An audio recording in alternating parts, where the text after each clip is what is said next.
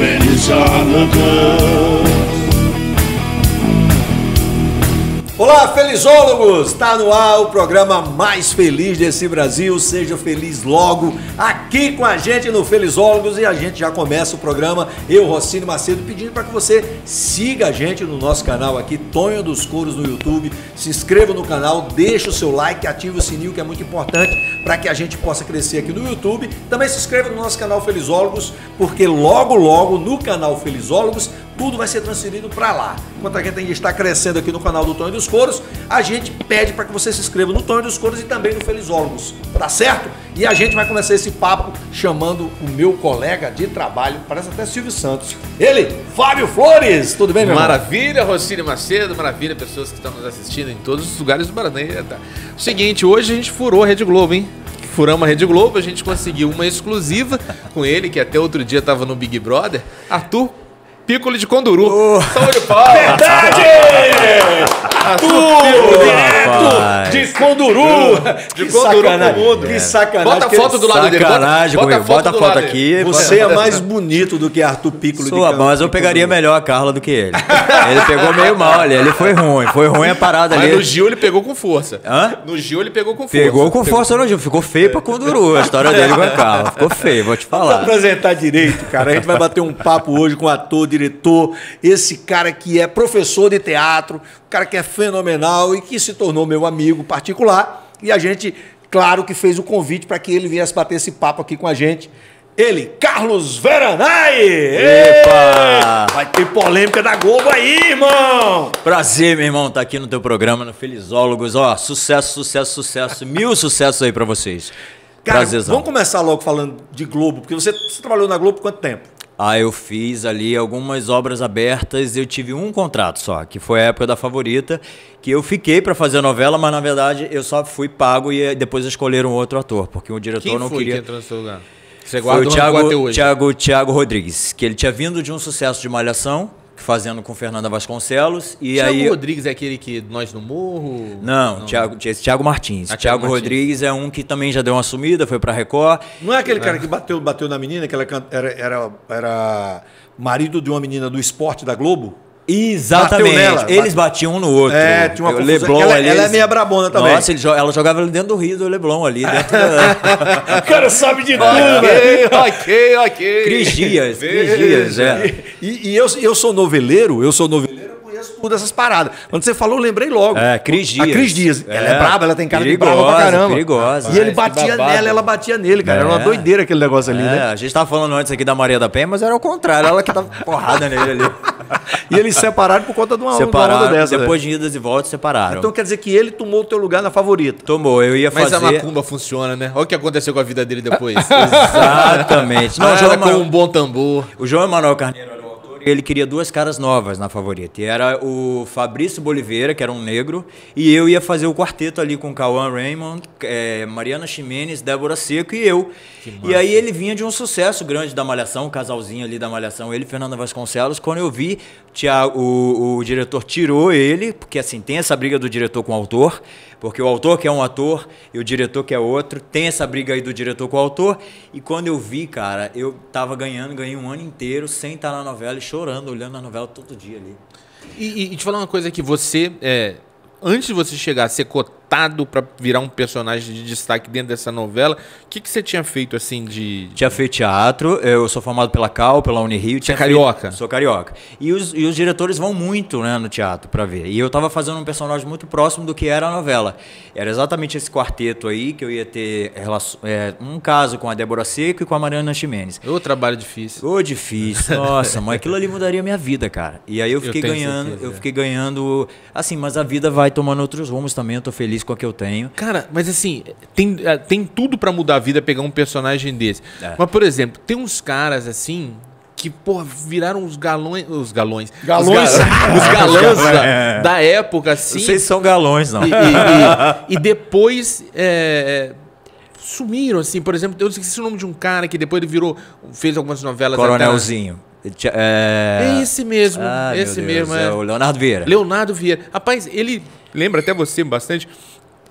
É um cara que ele, ele apareceu naquele momento meio um boom. que é. Foi um boom. Ele e Thiago Lacerda foram os maiores Sim, booms. eu ia, eu ia colocar ele na, na qualidade do Thiago Lacerda, Ah. assim, em proporção de. de, de, De- de- de ser muito rápido, rápido demais, é. Publicidade, essa coisa toda. E com a mesma velocidade que surgiu. Sumiu. É, o, o, o- o- é bom falar dele, porque na verdade o Léo Vieira, a questão dele foi porque ele ia muito a boates gays e a Globo tinha essa, essa máxima de que você não poderia dizer que era gay. Hoje ficou muito aberto, né? A menina da novela das sete já tá casada com outro e tá tudo certo. A Fernanda Gentil, que é a nossa colega aqui, apresenta também. Enfim, tá tudo certo. Mas antes você não podia dizer que era gay. Então ele ia pras boates, o nego tirava foto, mandava pra Globo, já começou a receber menos cartas, já fudeu a vida dele. Mas você acha que no imaginário da, da dona de casa que assiste novela, ela consegue dissociar que o, o- personagem é, é hétero e, o, e o- e o- ator é gay? Porque existe uma projeção. Ela, ela quer se apaixonar pelo galã da Sim. novela. Você acha que nesse sentido já tem uma dissociação? ou- Agora eu acho que sim, apesar da gente achar que a gente está no Sudeste, não sei no Acre, né? Sim. Agora eu acho que tem essa dissociação de que o personagem é o personagem. Mas exemplo, antes você acha, você acha que não tinha? Antes eu acho que não tinha. Aí começava a sair na mídia que fulano era gay, tanto que isso dava uma notinha. Léo Dias dava dizer, ah, o fulano da novela tal é, foi visto na boate Leboy. Pronto, já caía por terra a quantidade de números de cartas que ele recebia. Cara, é muito doido. Então, isso, na realidade, era um preconceito até do próprio Léo Dias, né? Lógico, que é homossexual que é gay, também. é. E, e aí, de repente, o Léo cara... Dias é gay? Não, Fábio, sou eu, Fábio, por acaso. Sou eu, descobri o Brasil. Então, cara, é, é um negócio muito louco. Ele estava fazendo, trabalhando É. contra Mas né, ele queria a likes, homossexualidade dele, porque, porque ele, ele não, pra ele não importa, né? Ele tá destruindo a vida de um cara que, pô, tá ali batalhando pela vida. Ele sabia que ele fazendo aquilo estava prejudicando alguém, né, que era homossexual tanto quanto ele.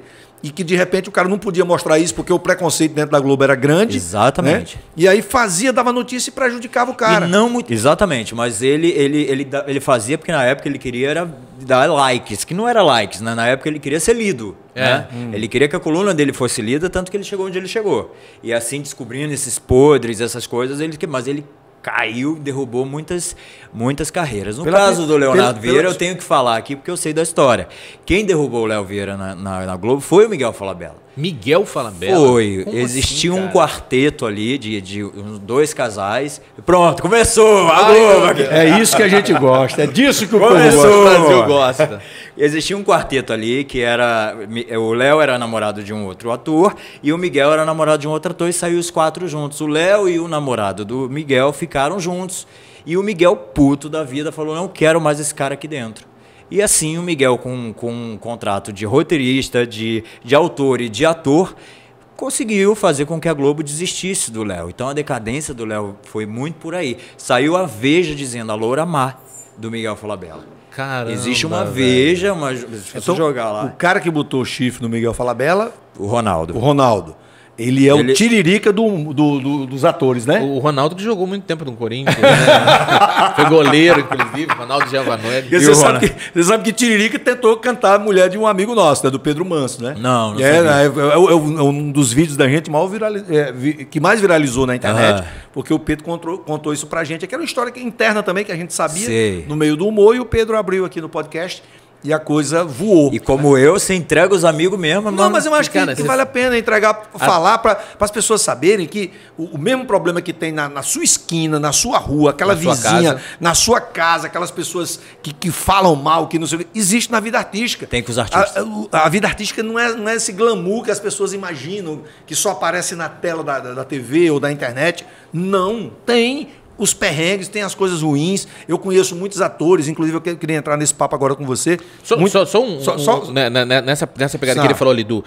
O que me chamou muita atenção nessa tua fala do, do Leonardo Vieira aí e do Falabella do Miguel. é que geralmente um diretor ele consegue derrubar um ator do seu do seu esteio de novelas. E Cada um tem um time para suas novelas, né? Hum. Sim. Tipo assim, você não faz minhas novelas mais, mas o João Emanuel Carneiro podia pegar, o, o Valci Carrasco podia pegar, a Glória Pérez podia pegar. Sim. Ele conseguiu varrer de dentro da Globo, então, Sim, né? Tanto que o Miguel e o Wolf, uma época, brigaram e o Wolf, de sacanagem, trouxe o Léo de volta pra Globo pra fazer aquela Senhora do Destino. E aí ele fez, depois de muito tempo fora da Globo, ele fez Senhora do Destino, depois voltou pra Record de novo. Na verdade, ele não tá sumido, ele tá na Record. Ele virou estrela da Record, mas tá na Record, tá sumido.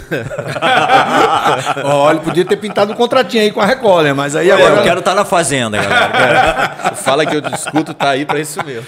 Mas agora, é, é para a gente é, desmistificar essa onda que ator, né, artista de um modo geral, ganha muito e, e vive naquela vida de glamour, é, é- é interessante você que, que viveu dentro da, é, desse meio, principalmente no Rio de Janeiro, né, que era o boom, boom do negócio da- dos De atores, dos sim, artistas né? de televisão, né, os perrengues e o baixo salário que a Globo, principalmente, pagava para os atores né, para poder fazer novelas, enfim.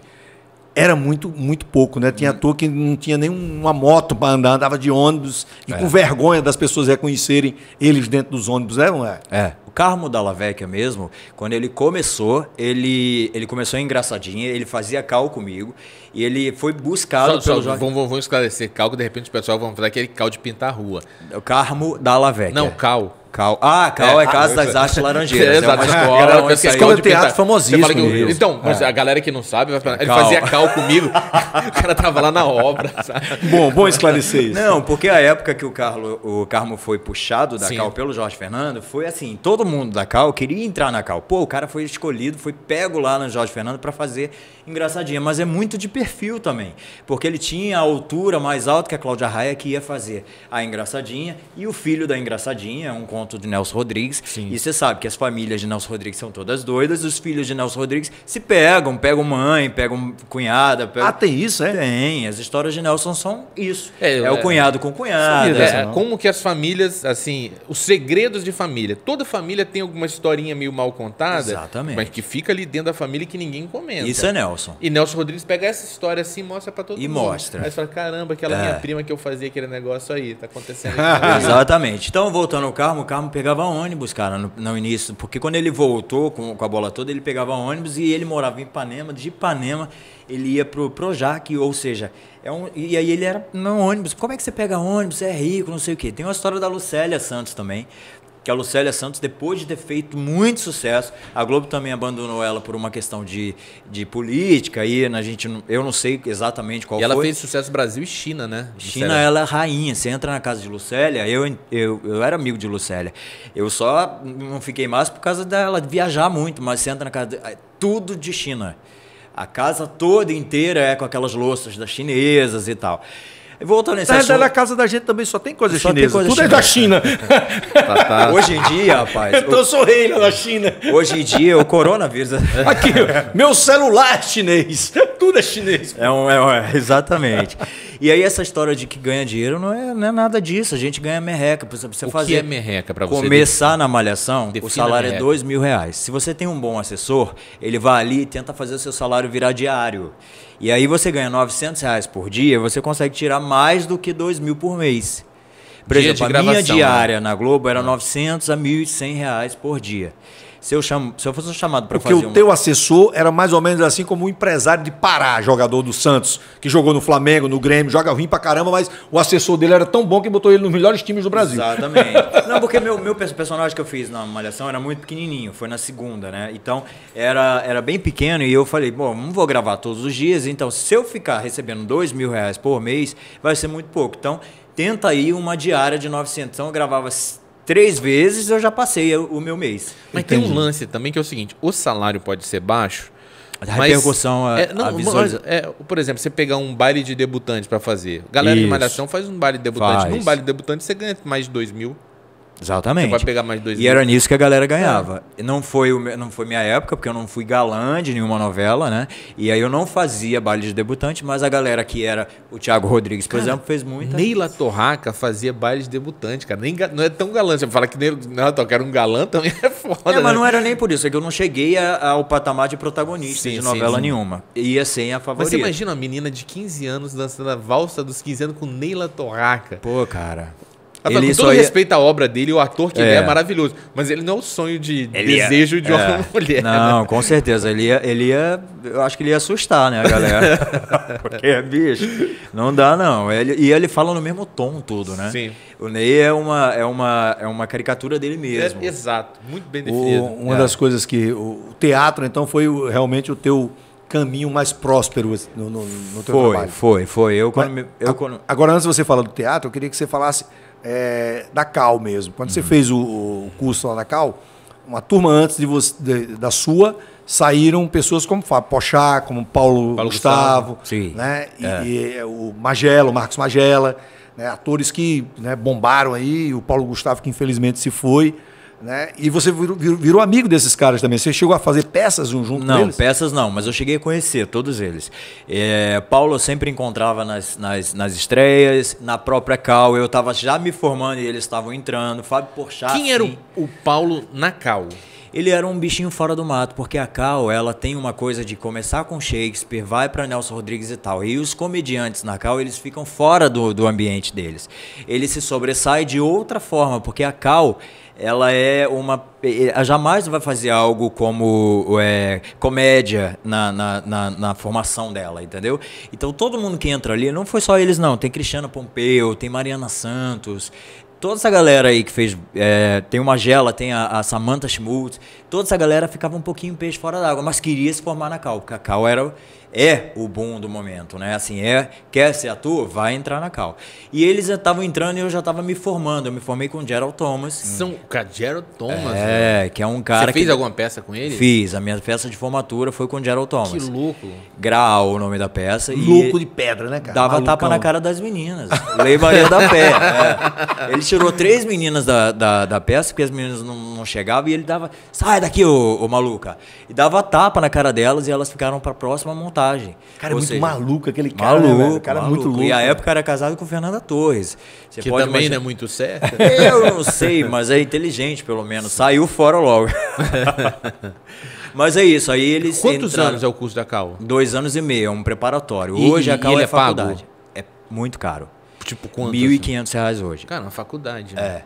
Hoje é 1.500 reais, mas agora ela é uma faculdade. Ela saiu de Laranjeiras, por isso que é Casa das Artes Laranjeiras, que é num morro que tem em Laranjeiras, e ela agora tem a faculdade. Se eu quisesse fazer a faculdade, se eu não tivesse Unirio, se eu não tivesse um terceiro grau de interpretação e direção teatral que eu fiz na Unirio, eu faria um ano e meio para me formar na Cal, agora como terceiro grau. Mas a Cal é técnica. Ela Sim. não é um curso, ela profissionaliza, mas ela não é uma faculdade. É um curso profissionalizante. Mas é assim, eu me lembro que eu vi a Arlete Salles, estava em casa vendo Faustão, e vi a Arlete Salles comentando: você quer ser ator? Vai pra Cal.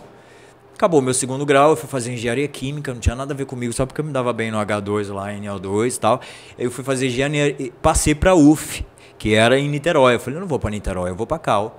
E aí fui pra Cal e ali eu, eu decidi que eu queria ser Sua mesmo. família tinha grana, assim?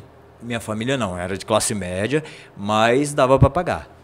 Meu pai dava, assim, ele, não sei se ele dava para pagar, mas ele, ele pagava. Eu já eu achei meio estranho essa parada aí, mas. Agora, dava pra pagar, é ótimo. Aí depois você- você mesmo é, resolveu escrever peças e, e dirigir e tal. E tem uma peça sua que, se botar o teu nome aqui no Google, Só isso. é a primeira coisa que tem é uma polêmica assim, fenomenal de uma peça que foi escrita por você, roteirizada por você, você era o protagonista e entre os atores né, principais estava Otami, Otami Gretchen, né? Aham. vamos chamar de Otami, Aham. e a Andressa. esposa do Tami. É a esposa dele até, até É a hoje, esposa, é a né? esposa, é. E aí gerou um ciúme, gerou uma parada, porque você tinha cena de beijo, que você be- beijaria a, a Andressa, né, que era a esposa dele, e aí ele... Como é que é? Me conta essa história aí, porque a- a- foi a primeira polêmica que a gente viu no Google, né? Botou Carlos Veranai no Google, só dá isso. Rapaz, eu, eu ralo pra isso ficar lá embaixo, mas não adianta. Sempre sobe. Agora vai um nudes. aumentar. Eu ralo. Faz eu um nudes que aí vira a primeira Eu já notícia. fiz tanta coisa É, depois tira a disso. roupa aí agora, pronto. Tira a roupa aí agora que a gente já posta isso aí. Pois Já... é, Ou então um processo agora pra voltar essa história toda. porque, porque eu ralo, bicho, mas assim, por mais que eu jogue lá Carlos Veranai, só aparece isso. E isso foi o seguinte, eu tinha uma peça, ele me ligou um dia falou, ó, não entrei na novela da Glória Pérez e eu tinha uma peça de uma relação a três, tipo Lua de Fel. Vocês viram o filme Sim, Lua de sim. Fel? De Fantástico. uma relação a três. E aí, ele, quando ele me falou, eu falei, porra, bacana, eu vou transformar essa peça numa peça trans. Só que eu não tinha muito conhecimento do assunto de trans homem, trans mulher, transexualidade. E aí eu fui botei esse tema um pouquinho lá no fundo, mas sem entrar muito no assunto. Ao longo da novela eu fui escrevendo e aí eu fui vendo aquela coisa de me olhar no espelho e tal. E aí eu fui falei, Tami, eu tenho uma peça aqui, vamos transformar ela para um para uma peça transexual, que é o que você quer fazer. Não, Carlos, eu não quero fazer um transexual porque eu já sou um transexual, sou um trans homem na vida.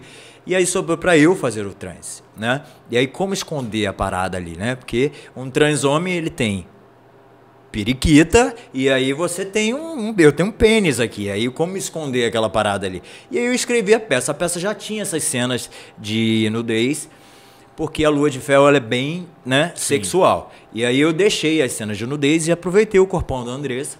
Falei, por que não botar essa Botar mulher nua, jogo, né? né? Da, da, da Ibope, da, da Público. Por que não botar essa mulher nua? Eu já tinha ficado no, no, no teatro umas quatro vezes, para mim também aquilo ali era fácil. Eu sei que, putz, então vamos ver se ela topa. E ela topou.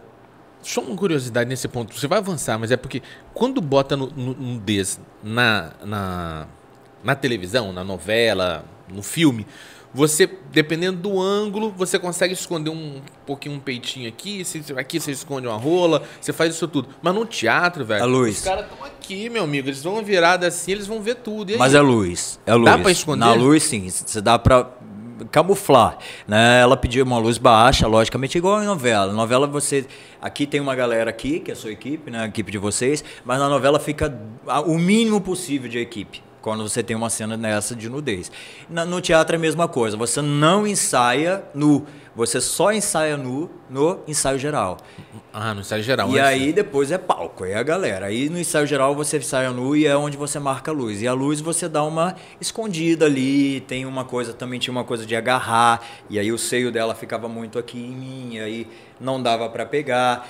E aí eu pedi pra ser nu, mas aí em cima da hora ela desistiu e ela colocou uma lingerie embaixo. Então, como eu, como eu vi que ela não queria, ela não era uma atriz profissional, ela estava fazendo Wolf Mai, como eu vi que ela não queria fazer a cena de nudez embaixo, total, eu falei, tá bom, faz com calcinha e eu pedi para a iluminadora só iluminar a parte de cima, e aí parecia que ela estava nua, entendeu?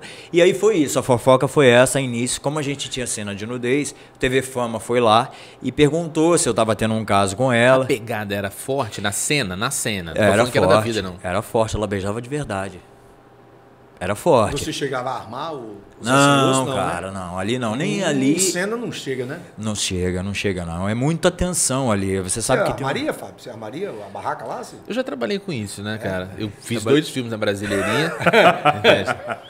O Alexandre Frota? É, não, Ele era a mulher do Alexandre Frota. aquele, aquele filme A Boneca, então era eu. Rapaz, tá entregando aqui. Alexandre fez brasileirinho. Cara, eu fico, eu fico vendo. Eu já fui em peças de, de- de- de teatro que tinha cenas de nudez. E, e o mais, mais louco, eu fico imaginando assim, porque é, quando eu apresentava, é, comecei a fazer stand-up, quando começou essa onda de stand-up, eu fazia show só de Tonho, né? só do, do Tonho Escuros. E quando começou a onda de stand-up, eu tive que fazer uma parte do show de Rossini e depois botar o Tonho. E aí gerava ciúme pra caramba dos maridos que iam com as mulheres no Aham. show, né? Porque as mulheres ficavam, pô, ele é diferente. Porque não é que eu sou bonito, mas é que o Tonho é muito mais feio, do que eu, né? Aí no contraste, no né? contraste aparecia um galã, né? E aí, meu irmão, tinha aquela parada assim, muito doida, que no final o cara não ia, a mulher tirava- ia tirar foto sozinha comigo, o cara não queria tirar foto comigo. E quando eu ia na mesa pra E era ali que tava o risco, né? É, é, Se ele fosse lá, ele fiscalizava mais. Pra autografar um CD, alguma coisa, o cara dizia, porra, não vem mais não, que minha mulher ficou dizendo que você é bonito, que não sei o quê e tal. Aí eu fico imaginando uma cena de nudez no teatro. Né? O cara vai lá com a mulher e de repente o ator, Aham. que eu não sei se é o seu caso, o cara tá lá com uma manjuba desse tamanho, Rapaz. a bicha ainda tem uma curva assim. Você imagina a confusão, o cara olha assim, a mulher diz, porra, a tua é desse tamanho. imagina, Não, bicho. isso aconteceu, isso aconteceu. Uma vez eu fui, fui tirar. Eu tava no SESC Copacabana, pra quem é do Rio sabe o que que SESC Copacabana é uma arena. E aí o, o diretor me É, Não botou. tem como esconder numa Não, arena, o diretor né, me botou aqui pra tirar a roupa aqui na cara da velha. Sérgio Copacabana, que só dá velho, só dá terceira idade, vamos ser educados com ele, só dá terceira idade. E quando ele sentava ali na primeira, segunda, quando eu tirava a roupa, às vezes fazia assim, ó. E saía e, e subia. Eu falei, tô diminuindo a plateia, tô falando. É, Me botou ali com essa marca de ficar ali na cara do, do gol. Não foi esse da peça da Andressa, era uma peça chamada. é, ah, já esqueci. Mas enfim, era no Sesc Copacabana e eu tirava a roupa na frente da véia. Toda vez a véia sentava ali, outra véia. Eu falei, mas por que, que não, uma produtora aqui não bota gente jovem ali? Tá, mas agora continuando no papo da Tami, aí, aí gerou briga mesmo, assim, vocês chegaram a. A gente brigou por outro motivo, na verdade não foi esse, mas a mídia a princípio achou que era esse, entendeu? A gente brigou por dinheiro. Eles achavam que teatro dava dinheiro e, e não era bem assim. Então eu decidi uma percentagem para cada um, eu produzi.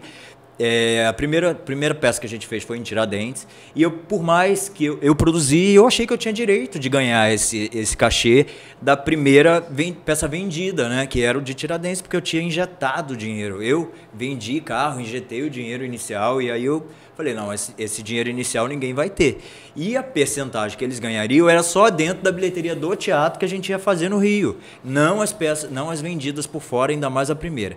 Então isso gerou um, um problema, eles acharam que eles tinham direito a esse dinheiro, e aí surgiu um assessor político do TAMI, Renan, o nome dele, e veio me cobrar e pedir para que eu assinasse um contrato muito a mais do que era o combinado entre mim e ele, entre mim e o TAMI. Minha relação com o TAMI, meu, é, minha, do, do assessor, era muito legal. Minha com o TAMI, com a Andressa, era muito legal. Com a Andressa menos, porque eu dirigia mais ela do que ele, e ela ficava com ciúme.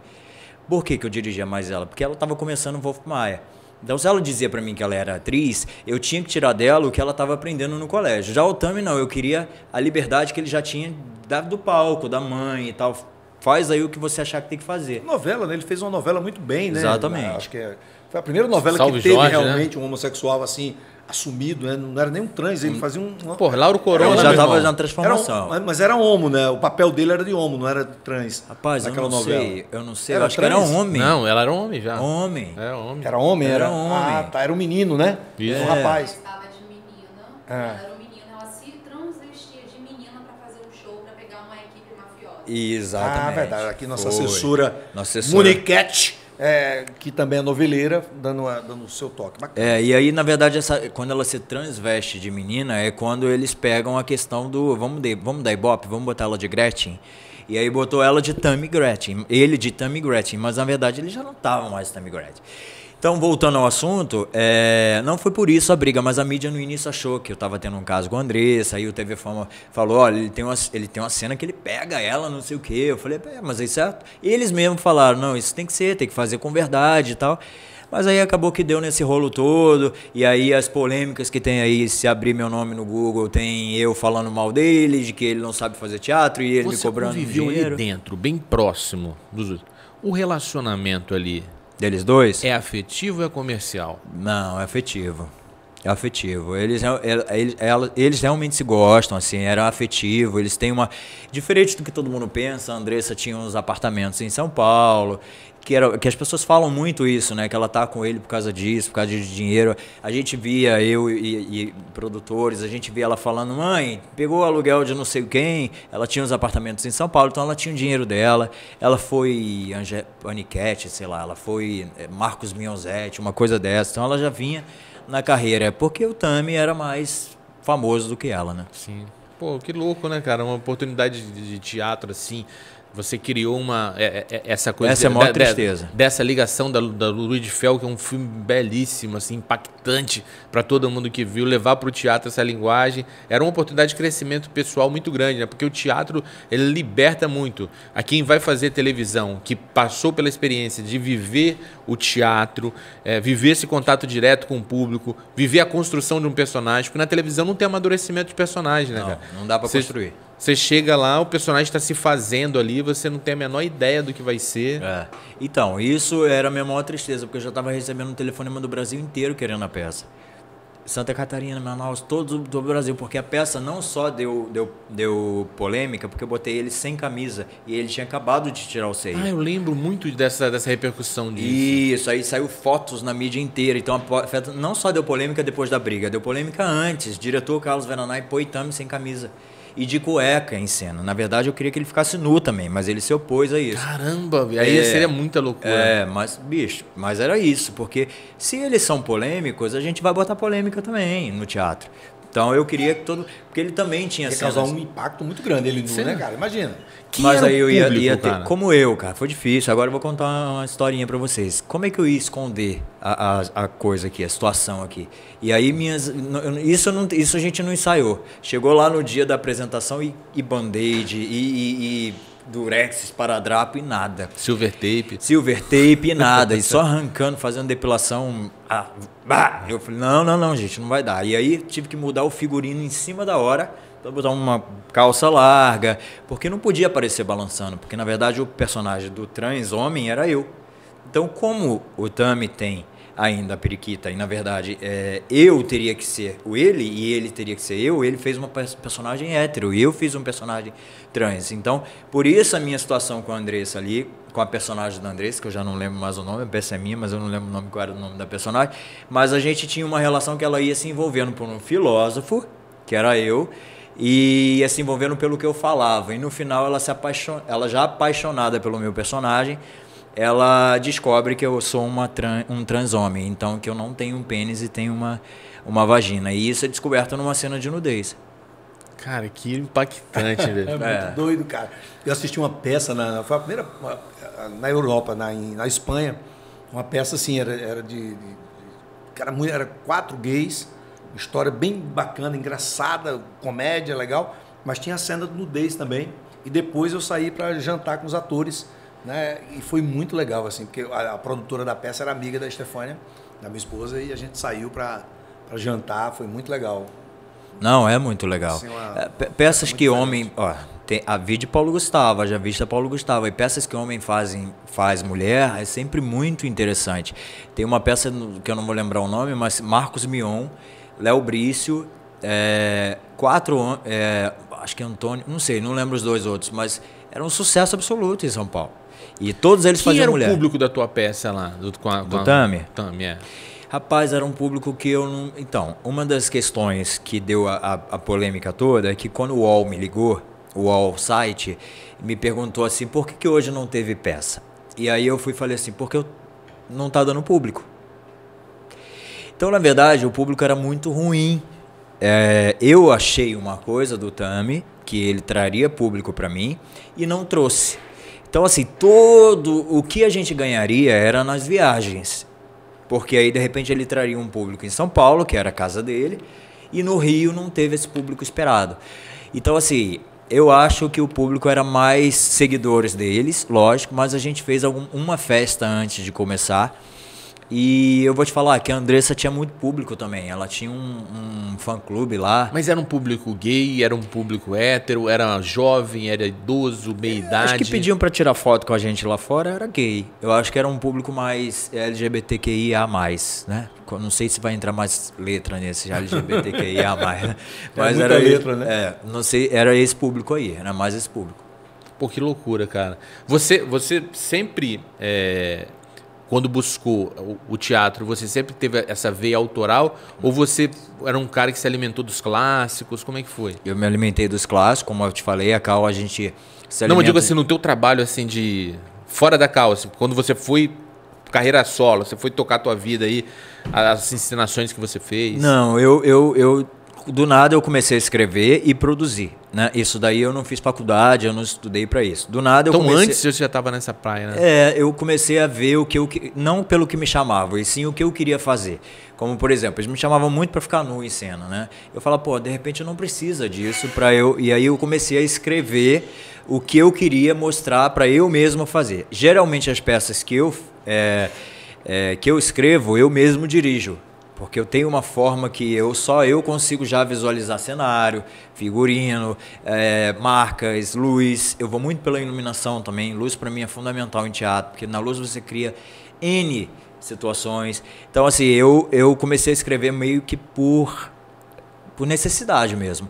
Tipo, me chamavam para fazer o médico, o, o, o bonito. Eu queria fazer uma, uma coisa feia, o ladrão, maconheiro, isso. E, pô, não, o cara tem cara de rico, de italiano. Falei, não, vou fazer algo que é fora de mim, um transexual, por exemplo. Jamais eu acho que me chamariam para fazer um transexual. E a época que eu fiz a peça, eu me lembro que tinha Carolina Ferraz fazendo no filme. Ela também é, tinha a Carol Abas, para quem não conhece, é só jogar no Google, Carol Abas, que é uma trans mulher, ela é homem. E é, a Roberta Close, ela é homem, virou mulher, e a Carolina Ferraz. E ela falou a mesma coisa, cara, eu tive que escrever esse roteiro aqui para eu poder fazer uma trans mulher, que senão jamais me daria uma personagem trans mulher por ser eu, a Carolina Ferraz, fazendo uma trans mulher. Então meio isso foi necessidade. E Carolina já tem uma voz assim. É, de homem, né? Uma voz Então- diferenciada. E por acaso eu vi esses, esses dias à noite lá pro Corujão o, o filme que, que ela fez. Agora voltando para o assunto da, da, da Rede Globo, que era maior, foi a maior empregadora né, de atores do Rio de Janeiro e do Brasil todo, né? E hoje, infelizmente, a Rede Globo demitiu aí, acho que um- acho que a maior parte, né, dos atores que a gente sempre viu na televisão. E aí eu queria te, te fazer uma, uma pergunta assim. Miguel Falabella, eu soube esses dias que foi, também foi demitido, também saiu do Foi, do acho cast, que sim, acho né? que sim. E, e o Miguel foi um, como o Fábio falou aqui, né? Ele, por conta de um, de um caso mal resolvido, ele foi lá e demitiu o cara de, de um, de um outro núcleo, né? É núcleo da Globo, né? São núcleos. E eu te pergunto o seguinte, cara. Essa, essa parada do homossexual, né? De, de ter é, casos homossexuais, ou casos até heterossexuais dentro da Rede Globo, isso favorecia casamentos, né? Porque eu sei de histórias, por exemplo, é, é, é, como é Mário. Lembra aquele. Mário aquele- Gomes com a Mário cenoura ou não? Aquele- aquele- aquela história da cenoura do Mário amor. Gomes, por exemplo. eu, eu, eu perguntei o Mário Gomes. Estava eu, Shaolin e Mário Gomes num, num camarim na Record, no programa do Tom Cavalcante.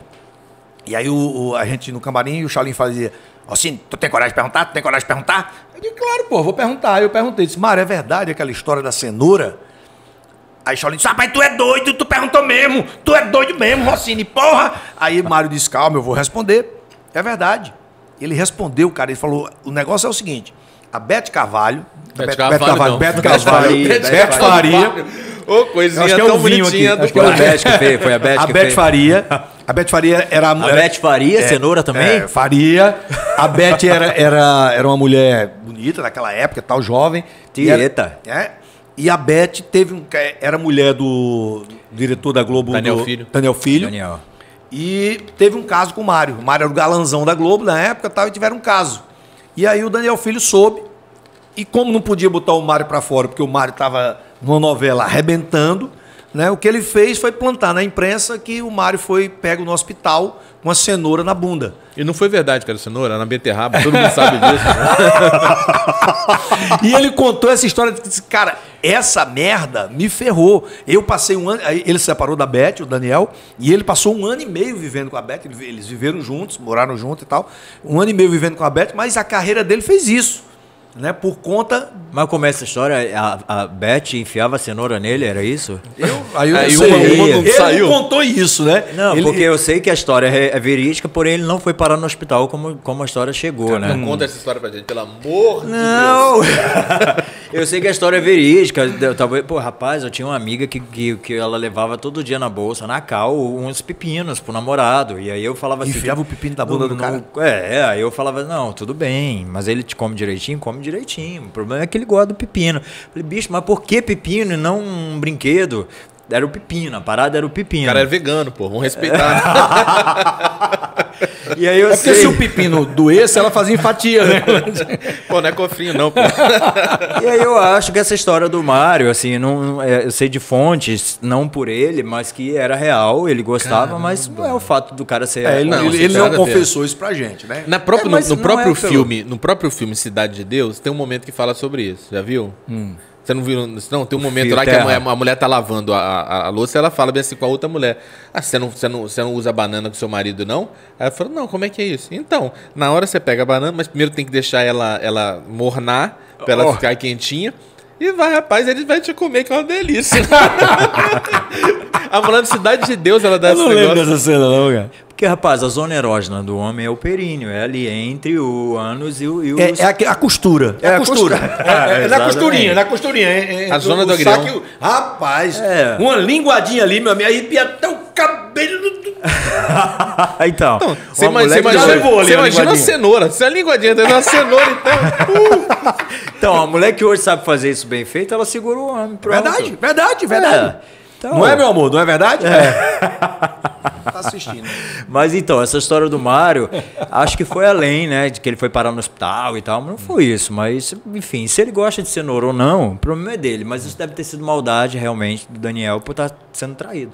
Cara, então isso rola muito, né? Eu, eu entrei nesse assunto para te perguntar isso. Rola muito. O diretor, o ciúme, você acabou de falar do, do Miguel Falabella. Então, o diretor, ou o cara, o diretor do núcleo, né? De cada núcleo da Rede Globo, eles têm casos com, com atrizes ou com atores, né? E de repente um, uma fala ou um ciúme ou alguma coisa e expulsa o cara, tira o cara, acaba com a carreira do cara, né, velho? Então, isso quer dizer que às vezes não é nem pelo talento que muita gente sobe na carreira, mas principalmente porque é boa de cama, porque é bom de cama e tal. Exatamente. É, é, essa menina que tá fazendo a Cora da novela Império, que eu esqueço o nome dela, eu tava querendo lembrar, rapaz, ela é ótima atriz, é Ela é- a nossa é Glenn Close, a nossa Glenn. Close. Enfim, eu não vou lembrar, mas quem tá assistindo aí... Ela a- teve um câncer, eu- né, ela Isso, eu, se, superou eu, um eu câncer, tô ela é olhando pra maravilhosa. cara dela e eu lembro de Dira, Dira Paz, que é minha amiga, mas não é Dira, é, enfim, eu não lembro o nome dela, eu esqueci mesmo. Ela chegou na, na, na sala do Daniel Filho e tirou a roupa. Vem cá, eu sou feia, mas eu tenho isso aqui, ó. Tem essa máxima de que ela chegou e tirou e ela foi chamada e mostrou talento e tá até hoje. E faz, fez essa personagem aí maravilhosa e tá até hoje, entendeu? Caramba, bicho, essa é pesada. É, rapaz, tem mil histórias. Tem história do Paulo Otran no teatro. Paulo Outran? É, tem história de que o Paulo Otran, de que a Fernanda Montenegro pegou o Paulo Otran na coxia com o negão. Rapaz, tem muita história. Ah, é? Paulo Otran, Paulo Otran gostava do. Não é sei Paulo gostava, Sim, Paulo, não não, vou Paulo, dizer é se Paulo pessoa Outran, é. sim, ele, ele é assumidamente. Era? Era assumidamente. O Ítalo eu sei que era assumido, o Ítalo Rossi. Agora o Paulo Otran eu não sei se era assumido. Mas enfim, eu não julgo se a pessoa é ou não é. Não, não, claro, disso. isso é É a normal. mesma coisa do Mário Gomes. Você gostava da cenoura porque ele é gay? Não. É, sabe? Gostava porque dava prazer, pô. O cara botava a cenourinha lá e tal, beleza, né? Exatamente, Eu mas não, aí- não, não queria uma nisso, cenoura. Um abraço pro pessoal do Hortifruti aí. Se quiser patrocinar, Mandar uma cenoura aí pra gente. o Fábio usa aqui, pode patrocinar, tá, gente? Cenoura, pepino, beterraba não, né? Pô, Vamos, tu vamos fazer um, vamos fazer um brinde falar nisso aqui, porque esse papo tá muito bom. E a gente tá regrado a vinho aqui, ó. Rapaz, Vinho cotada velha, flor de cotada. Dá, dá, dá, dá uma calibrada aí. Ó, olha mesmo, Fábio É tomando pra encher vinho, até o cara. talo. ele não dá não, ele só Esse bota pra vinho- ele. Esse vinho você encontra na Vila Devan. A Vila Devan entrega em todo o país. Vamos fazer o brinde dos três aqui pra fazer Sim, a foto. vai. é. Faz a foto, faz a foto aí, faz a foto. A foto do brinde aqui. aqui. A, a Moniquete vai fazer a foto? Vai, ela vai Foto fazer a do foto. vídeo. Vai fazer, Monique? Ela vai fazer a foto lá, ó. Olha que legal. Isso é um brinde aqui no meio do papo, cara.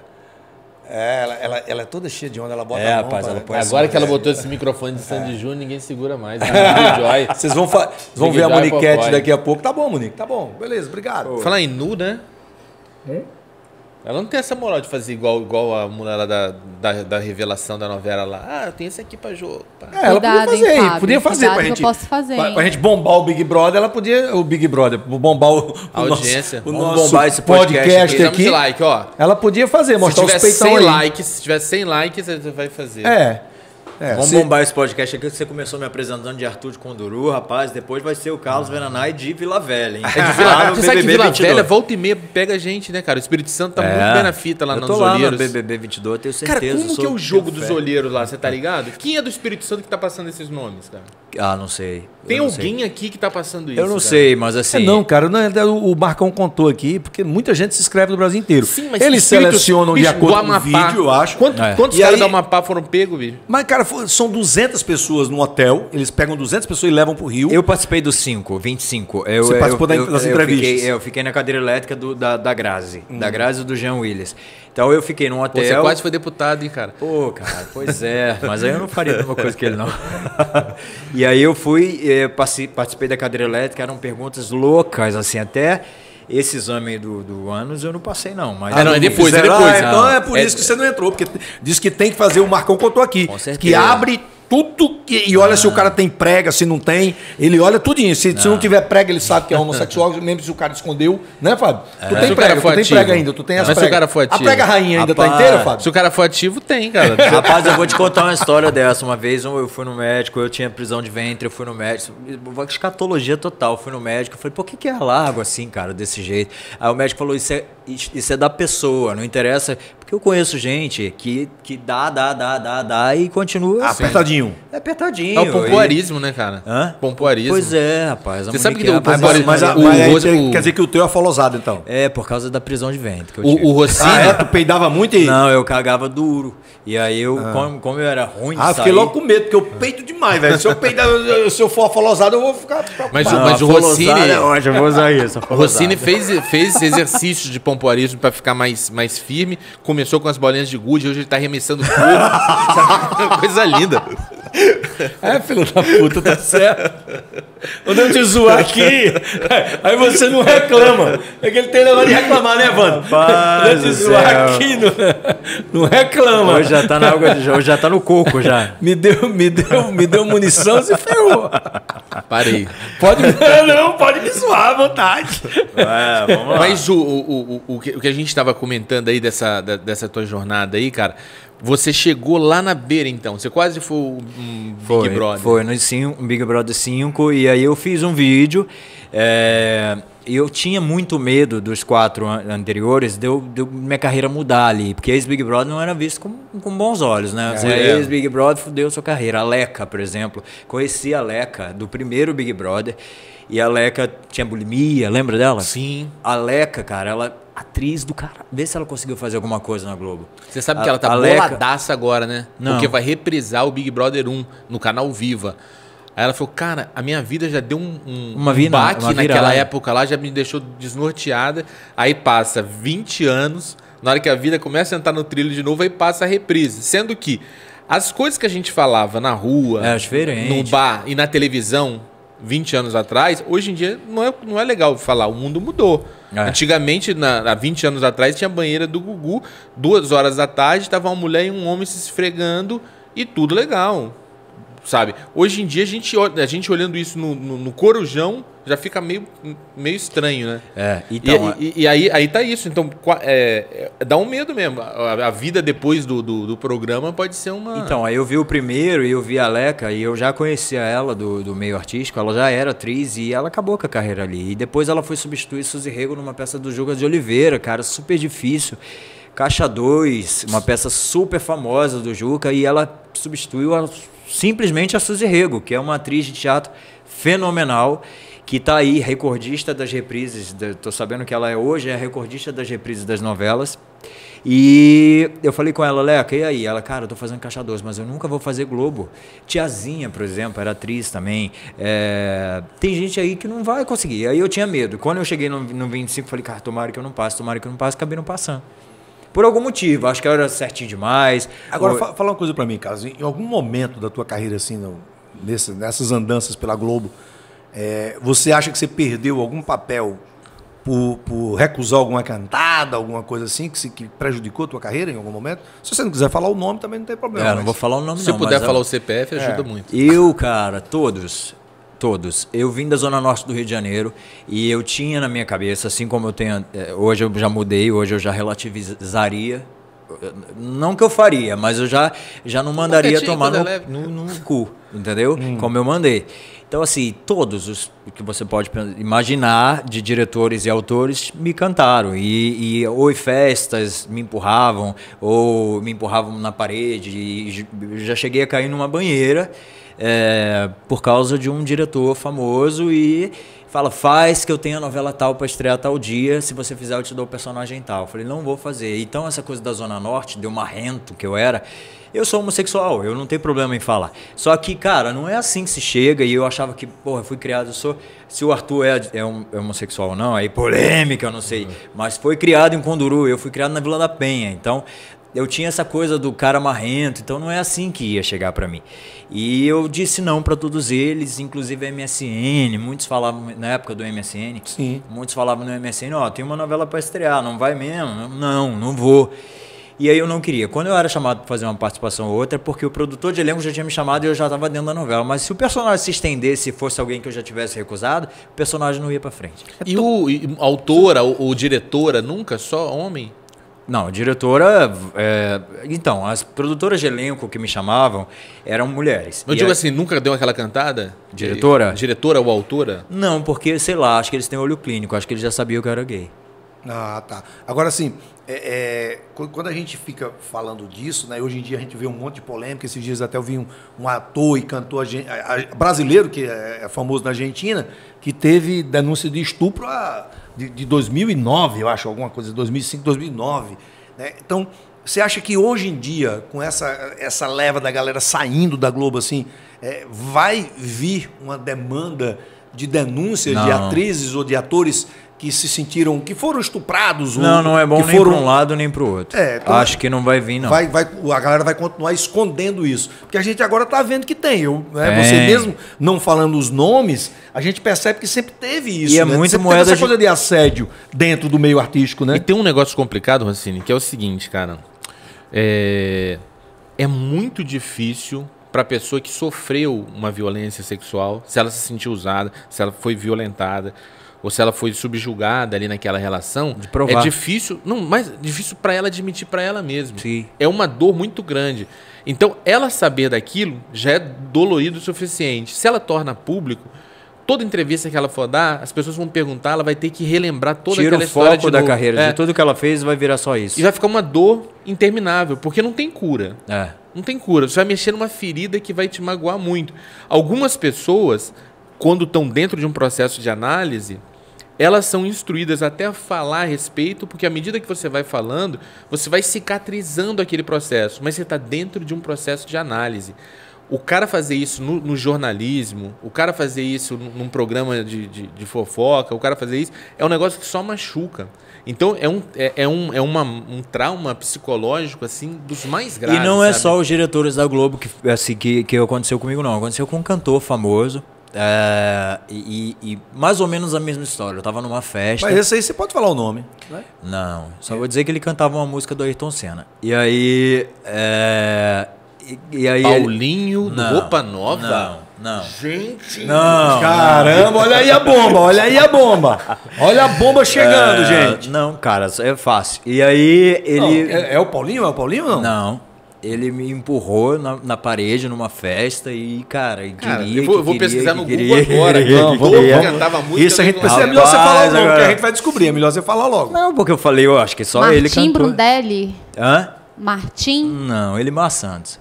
Elimar Santos, cara. Elimar Santos te, te empurrou na parede assim É, e falou e, o quê? E, e- e falou, vai ficar comigo porque eu sou poderoso, porque eu sou isso, porque eu sou aquilo, e você ainda não é nada. E é assim mesmo, e é nesse nível. Aí e que você- que você você vê que não ele? são só os diretores. E eu o que é que falei, você não, respondeu pra só ele? vou ficar se eu quiser. Cara, e, e é muito burro E até então isso, eu né, nem cara? era assumido é muito homossexual, não. E, e é muito burro o cara, É te, o, questão- ca- o ca- o cara te, te assediar desse jeito. Você vai me pegar porque você não é nada. Eu sou poderoso, Que vontade de caraca, pegar velho. alguém eu vou ficar depois que o cara fala que eu sou É, nada. Eu sou poderoso, você não é nada. Ah, se fuder. Porra é essa, meu irmão? Rapaz, e era num momento assim, muito complicado minha vida. Quem não tem uma cabeça no lugar, a pessoa dá uma pirada, não quero mais isso pra minha vida, vai embora, não quero mais isso, tudo é isso. Eu comecei a não ir nas festas, eu comecei a não fazer a social que era É necessário. super necessário. Você tem que estar Eu, no é, eu já não me drogava, que era uma questão também. Vacilo, hein? Pois Pô, é, puta vacilo. Você agora tocou num ponto é, que também eu queria saber. Cara, é- mas é verdade, é bom. Um cara, um cara que a gente tem essa liberdade de falar, como o Carlos, da gente saber o seguinte. A onda da droga também é uma coisa que favorece muita gente, né? Que entra no, no meio da droga, que os diretores de núcleo é, é, são Na é, comédia, envolvidos, cara, nossa senhora. né? É. Então, se o cara é, é, tiver no meio da droga, por exemplo, no- na comédia, por exemplo, no nosso meio, né? Se o cara não for maconheiro, ele não entra em certos grupos, né? Eu não fumo maconha, por exemplo, eu não entro em certos grupos, porque eu não fumo, Exatamente. Cheira. porque eu não Exatamente. fumo maconha. É, exatamente. ca- eu também não cheiro, também não entro em outros grupos. Eu- A única droga que eu tenho, na que eu bebo na minha vida é o vinho, que eu só bebo porque Jesus bebia. Se ele não bebesse, eu também não bebia essa porra, não. né? Então, é, é, eu, eu te pergunto isso, cara. Isso também exclui inclui muita gente, né? Sim. Nunca, sim. nem uma bolinha, assim, só pra. Não, um cara, eu efeito. vou te falar, é, droga sintética pra, pra festa, eu fui descobrir depois. E aí eu, eu sempre fui um Globo Repórter. Eu falava, eu vou experimentar, se essa porra não for bom pra mim, eu não vou fazer. Então eu experimentei tudo. A maconha me deu, me deu, eu tinha que manter o corpo. Porque, né, eu tinha, meu corpo era minha, minha carta, de- meu cartão de visita, então eu- a maconha me dava larica, eu comia tudo que estava na geladeira das pessoas. Se eu tivesse numa festa, eu ia na geladeira da mulher. É, e aí eu falei, não vou comer, não vou fumar maconha. Fumei Evandro já uma tá- vez na vida. Evandro, nosso cinegrafista aqui, tá querendo fumar maconha pra engordar. É, fuma maconha. Já que Eu come acho muito. Eu acho que É, o Fábio é, tá é. comendo muito também, eu também É, acho. é o caso de se libertar do crack, né? A- o, a- a- o pó, cara, eu morei debaixo do juramento, do Morro do Juramento. Eu sempre neguei desde moleque cheirar pó. E aí eu vejo isso no meio artístico, cheirava pó, não aconteceu nada comigo. E aí eu fui pro sintético, que é, um- é o êxtase. Daí eu fui e gostei, só que eu falei, cara, não, eu nunca fiz isso, não vou fazer. Então isso nas festas era normal. Era carreira, era meio que. Eu tava nos anos 80, 90, né? Era na mesa, se você quisesse fazer, você pegava Cara, ali. E cocaína nos anos 80 era caro.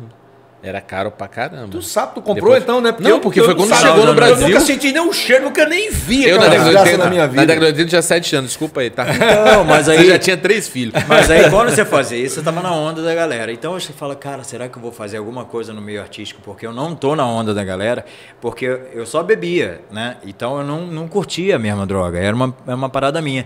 E aí tinha uma, tem uma, uma máxima que a gente sempre fala de vocação e talento. E a vocação inclui tudo isso aí. É você sair entrando na, na- no Projac e batendo de porta em porta para falar com os produtores de elenco e tá ali nas festas que tá todo mundo fazendo a mesma coisa. Isso entra na vocação. Entendeu? Na vocação não é só você dizer, tô aqui, quero ser visto. É, tem, igual a menina que foi, a Cora lá fez na novela. Entrou lá e falou, pô, vou abrir minha. E tem uma máxima de que a Fabiana Carla também, você deve saber disso, dormiu Fabiana na porta do Carla? Projac. Fabiana Carla, Dormiu na grande comediante, grande atriz. Dormiu na porta do Projac até ser vista, três meses, defin... três dias definhando lá na porta do Projac, até que fala, vem cá, filha, vem cá, mostra o que você sabe fazer. Ela mostrou e foi E, assim. arrega- e arrebentou porque é uma grande comediante, uma grande Cara, artista. E, esse lance que você Isso fala é de- vocação, de, frequentar esse- o- o- os roteiros, chegar nisso aí, na, na galera, onde acontece mesmo o movimento. Eu tenho um amigo, o grande sonho dele é fazer novela, ele saiu do Espírito Santo, foi pro Rio para busca desse sonho. É, nos primeiros anos que ele tava lá, ele falou bem assim, cara, eu tenho que ir onde estão essas pessoas. Só ir nas festas não dá, tá adiantando. Aí ele descobriu que as pessoas, assim, do- muita gente do, do, do Projac Aham. eram budistas. Ele falou, Eu, cara, eu, eu, vou fui virar budista, por causa disso. é. Eu não sabia dessa não, velho. Aí ele falou assim: vou virar budista. Cláudia Raia. E- e começou é, a Isabela frequentar. Garcia, muita gente era budi é budista. E o Namio Horengekyo, que é o Dedico a Minha Vida à Lei de Causa e Efeito. Eu estudei, passei na prova. Carmo Dalla Vecchia, que é meu amigo, foi- é budista. Então foi através dele que eu fui. E, e eu, morava na- eu morava lá em Jacarepaguá. E eu ia na- nas reuniões budistas em Ipanema para fazer a social. Eu falei, porra, é a única coisa de eu, de eu poder chegar, já que, Que eu não ninguém vou vai nas estar com droga, nem ninguém vai te. vai- vai Exatamente, sediar, ali a né? galera só tá É. na paz, na boa. Esse meu amigo começou a frequentar essas paradas do- dos encontros budistas e tal. E tava começando a se entrosar lá no meio. Aí eh, tinha uma época que era final de ano. Ele ia voltar pra Vitória pra passar as festas finais de ano aqui. Aí ele chegou lá, foi se despedir, despedir da galera. Falou: Gente, olha, muito obrigado. Foi muito maravilhoso conhecer vocês esse ano. Tô indo pra Vitória. Um Feliz Natal a todos vocês. mandou um Feliz Natal na reunião budista, cara. Cara, Aí ele deu Comemora, né? Sabe qual é a É conclusão? tudo diferente, não tem Natal, não tem enterro, é totalmente diferente as Sabe qual é a conclusão que eu estou chegando agora? Que, que na realidade tem muitos atores né, e, e muitos artistas, de um modo geral, que são como políticos, né? Políticos que compram votos para se eleger, atores e atrizes e artistas de um modo geral. Eu tenho um né? nome pra isso. É, Carreirista. Carreirista, é, se vendem, né? Se vendem Isso de alguma aí. forma, né? Tem que dar a perereca, tem que dar a bunda, tem que né, comer alguém para poder. E às se vezes não é porque o- se o cara transa com homem, eu, eu confirmo isso. Não é porque o cara é gay, é porque ele é carreirista, ele quer seguir, ele quer fazer sucesso. Ele sabe que ele fazendo aquilo ali com, com o diretor, ele, ele, ele vai chegar lá onde ele quer. Pois é, tem pergunta da galera aí. Já tem gente curioso, Ih, querendo rapaz, saber de vai algumas pegar. coisas. E a Muniquete Tá ali. Monique, Mentira. Oi, tudo bem? toda arrumada, vamos comprar uma calça pra ela, que ela tá com a calça Pega leve, hein. Monique? Pega leve. Qual é a pergunta? a- bem fofinho aqui. Na Tô verdade, vendo. estão querendo saber da minissérie Capixaba. Foi a primeira minissérie Capixaba, por exemplo, né? É, se, não, se não sabe brincar, então não desce to play. Ia, ia ser passado no YouTube e, de repente, não sei o que surgiu, foi pra Rede TV. Explica como é que foi isso daí. Ah, pois é, a gente ia entrar nesse, nesse, nesse assunto que é, que é super legal, é bom que o Monique lembrou ali. Você veio para o Espírito Santo, né? Você veio desenvolver uma, uma escola de teatro aqui, ensinar teatro aqui. Você já deu alguns cursos. A galera fala muito bem de você, né? Tem, tem muita gente aí que está fazendo os cursos com você. E aí, nesse curso, você fez essa minissérie que você levou para a Rede TV, né? Foi. E aí, como, como é que tá isso aí? Como é que foi o- a apresentação disso? Como foi o sucesso? Assim como a Monique perguntou, é uma curiosidade nossa também. Eu tive aqui contigo, né? Eu tava É. lançando a minissérie. aqui no Bom de a- a- Papo. era uma websérie. E aí eu ia subir pro YouTube e entrou a pandemia. E aí eu falei, o que, que eu vou fazer no YouTube se eu não tenho mais dinheiro para impulsionar, não tenho dinheiro para nada. E aí eu tinha uma reunião com é, a, a galera lá da, da Rede TV, com o Carone e tal. E eles gostaram da ideia. A pandemia tirou os programas da casa, né? E aí, pô, a gente não tem nada para pôr, ninguém tá pagando, sabe que programa local é paga para fazer, ninguém tá pagando para fazer, vamos colocar a série. E assim foi, assim, a série de websérie virou uma série 100% capixaba, saiu matéria no UOL, saiu matéria em todos os lugares. Carlos Viranai faz a primeira série 100% capixaba. Por que 100% capixaba, apesar de eu ser carioca? Porque todo o núcleo de atores era daqui. Entendeu? Tinha um convidado do Rio que eu chamei para fazer um convidado, um personagem mais mais Qual é a história? a história é uma família de um homem e uma mulher, um viúvo e, um, e uma separada que junta uma família de 10 crianças, 10 adolescentes. Então ali tem essa família aí, um núcleo de 12 pessoas, com esse conflito entre os três, o ex-marido da mulher com um novo casamento, o ex-marido, que no caso era o meu personagem, vinha do México, um ator canastrão mexicano, vinha do México para tirar essa mulher desse cara e mostrar um segredo. Esse segredo era que essa mulher era alcoólatra.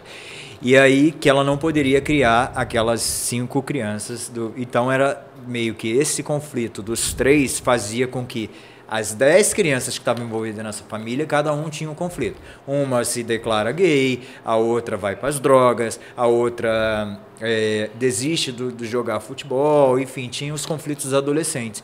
Então, por que, que eu fiz essa questão do team, da, do foco ser o team? Porque eu entrei em contato com a Netflix antes e ela me falou: olha, aqui a gente gosta muito de Elite, é, tudo team, né? Elite. Não sei se vocês viram Elite, que era a maior, maior série vista da, da, da Netflix. E eu fiz, tentei fazer esse roteiro. Só que o diferencial desse roteiro foi o seguinte. Eu, como você sabe que aqui a cultura é diferente, é difícil, né? E aí essa galera que ia para o Rio, para São Paulo, para fazer workshops com os atores, com os, com os diretores de lá, eu falei, galera, eu tô aqui. Não precisa vocês pagarem um hotel para ir para o Rio, para São Paulo, para poder fazer um workshop. Vamos fazer um workshop comigo. Muita gente era iniciante, não tava nem não tinha nem feito nada de teatro. Vamos fazer uns workshops comigo, dali a gente vai e vai para frente da câmera e vamos filmar durante cinco dias e vai sair seis episódios de 30 minutos. E assim foi feito. Saiu esses seis episódios de 30 minutos e a série tá no ar lá no, no YouTube da Rede bacana, TV. cara. Eu- eu- Me veio uma ideia aqui na cabeça, cara. Se aproveitar Hum. os talentos artísticos dele, dessa habilidade de criar o personagem, desenvolver. Você tem uma, uma, uma- uma sacação Isso, muito isso. boa de criar enredo. Isso que eu ia enredo. falar. Você inventa Foi enredos um bons. grande desafio para mim, que é da, do Tami, por exemplo, o trans. Eu tinha a, sé, a peça. E aí eu só transformei, literalmente, transformei. Essa não, cara. Quando eu vi que todo mundo. Porque a, é, a série que eu fiz aqui, todo mundo tinha que pagar para fazer. Exatamente como a pessoa sai Sim. daqui para pagar. Porque ela pagava meio que pelos workshops que daria, culminava na série. E aí eu falei, putz, tem 87 pessoas. Falei, como eu vou escrever personagem com 87 personagens, todo mundo pagando a mesma coisa, com todo mundo falando, com todo mundo tendo o mesmo destaque? Foi loucura. Eu fiquei um mês louco, parei, sentei, falei, vai sair, vai sair. O que, que você faz? Sua habilidade. Ah, eu sou modelo. E você? Ah, eu sou, eu sou cal- é, agente de modelo. E você? Ah, eu sou mãe de família. E você? Assim eu fui. Eu botei os personagens mais próximos deles e fui escrevendo e fui fazendo um núcleo que se entrelaçava no outro e a série foi. Que eu imaginei essa coisa, essa habilidade dele criar enredos, Lá vem. que ele seria bom pra criar um trote. Pra quem? Eu pensei da gente pegar e dar trote em pessoas de podcast também. A gente tem o nosso amigo Raquel Ferreira, que tá com um podcast aí que tá muito legal, aquele cara podcast, aquele cast. E eu imaginei dele dar um trote assim, convidando pra fazer um teste de elenco. Ah, isso é bom. Fazer um teste. Esse cara, Tanto ele é um é o humorista. teste do sofá. Ele, ele é um humorista da- daqui do Vou Espírito mandar o Santo. telefone dele pra você. Você vai ligar É. pra ele. Tá com o seu telefone aí? Tô. Ele é humorista Vou aqui no Espírito Santo. aí. Tem um podcast também. Ele, ele, ele já participou de, de alguns episódios de programas do Tom Cavalcante na Record. Mas, ele- mas tem um problema, assim, tem uma sacanagem com ele. Ele não falava nada, ele não tinha fala no, no- quando ele participou do Tom. É o maior orgulho da carreira dele. Só que, infelizmente, eu também participei desse quadro lá do Curral. As falas eram mais pro Tiririca, pro, né, Aham, a galera o Tirulipa, e a gente entrava lá, era como se fosse figurante. Eu só participei uma vez, eu não quero mais não, pô. Eu fiquei figurante aqui nessa porra. Ele participou pra ele, é o maior orgulho da vida dele. Do Tom, né? É. Lá Aí- no Ceará que eu fui fazer a série agora, tinha os dois que fizeram também. É, aí eu, é, Vamos eu- pensar a. Titela, mandar um abraço pro Titela e pro Ciro Santos, que é meu amigo. Aham. Vamos Aí- pensar em alguém Não. do, do Ceará que, ele- que, que você vai, você está dirigindo uma- um, um especial de comédia que vai acontecer um episódio que vai ter aqui no Espírito Santo. Pode ser, pode ser o Ciro Santos, que todo mundo conhece. que Ele conhece? Ah, com certeza conhece o Ciro Conhece. Santos. Não, o Ciro será Santos é que- famosíssimo, cara. O Ciro Lá Santos é. é, famosíssimo Lá é. no Ceará. E assim, dos Vamos, bota a Titela no meio também. é, Titela, Titela e, Ciro, Ciro Santos. Tá. É. Você disse que vai participar. Eles estão eles estão eles vão estão fazendo um episódio, estão fazendo uma série em vários estados. e aqui o Tom Cavalcante indicou ele. O Tom Cavalcante que indicou ele. É. Aí Tá. você diz. Aí, aí no final você dá uma sacaneada. É, põe a Netflix, que você acha que vai pra Netflix e tal. Tá, uma Só- série de humor pra Netflix. Só que aí Quer você- pegar um é, Nordeste com, com- brasileiro. é, com Ciro, Ciro Santos e Titela que estão viajando o Brasil. Aham. Aí aqui no Espírito Santo, o Tom Cavalcante, eles pediram um nome, então o Cavalcante indicou ele. Aham. E Só que, só que aí no final você dá uma sacaneada. Mas eu tô vendo aqui que você que tem um dos únicos vídeos que tem de você participando, você não tem fala nenhuma. Você participava lá do curral, era, o- É. era, era, era o curral, não era o negócio do Da Fazenda. Todo- é, bofe de elite. bofe de elite, o bofe de elite. Ele participou do É, curral também. também. Participou Aí do você fala assim, também. tem algum vídeo seu de dramaturgia que tenha fala? É, esse não tinha fala nenhuma. Aí tu dá uma zoada nele, tá? Aí o telefone tá aí. Não, você tem verificação aí no Instagram, mas por quê? Ele tem verificação, tem ele falou, tem.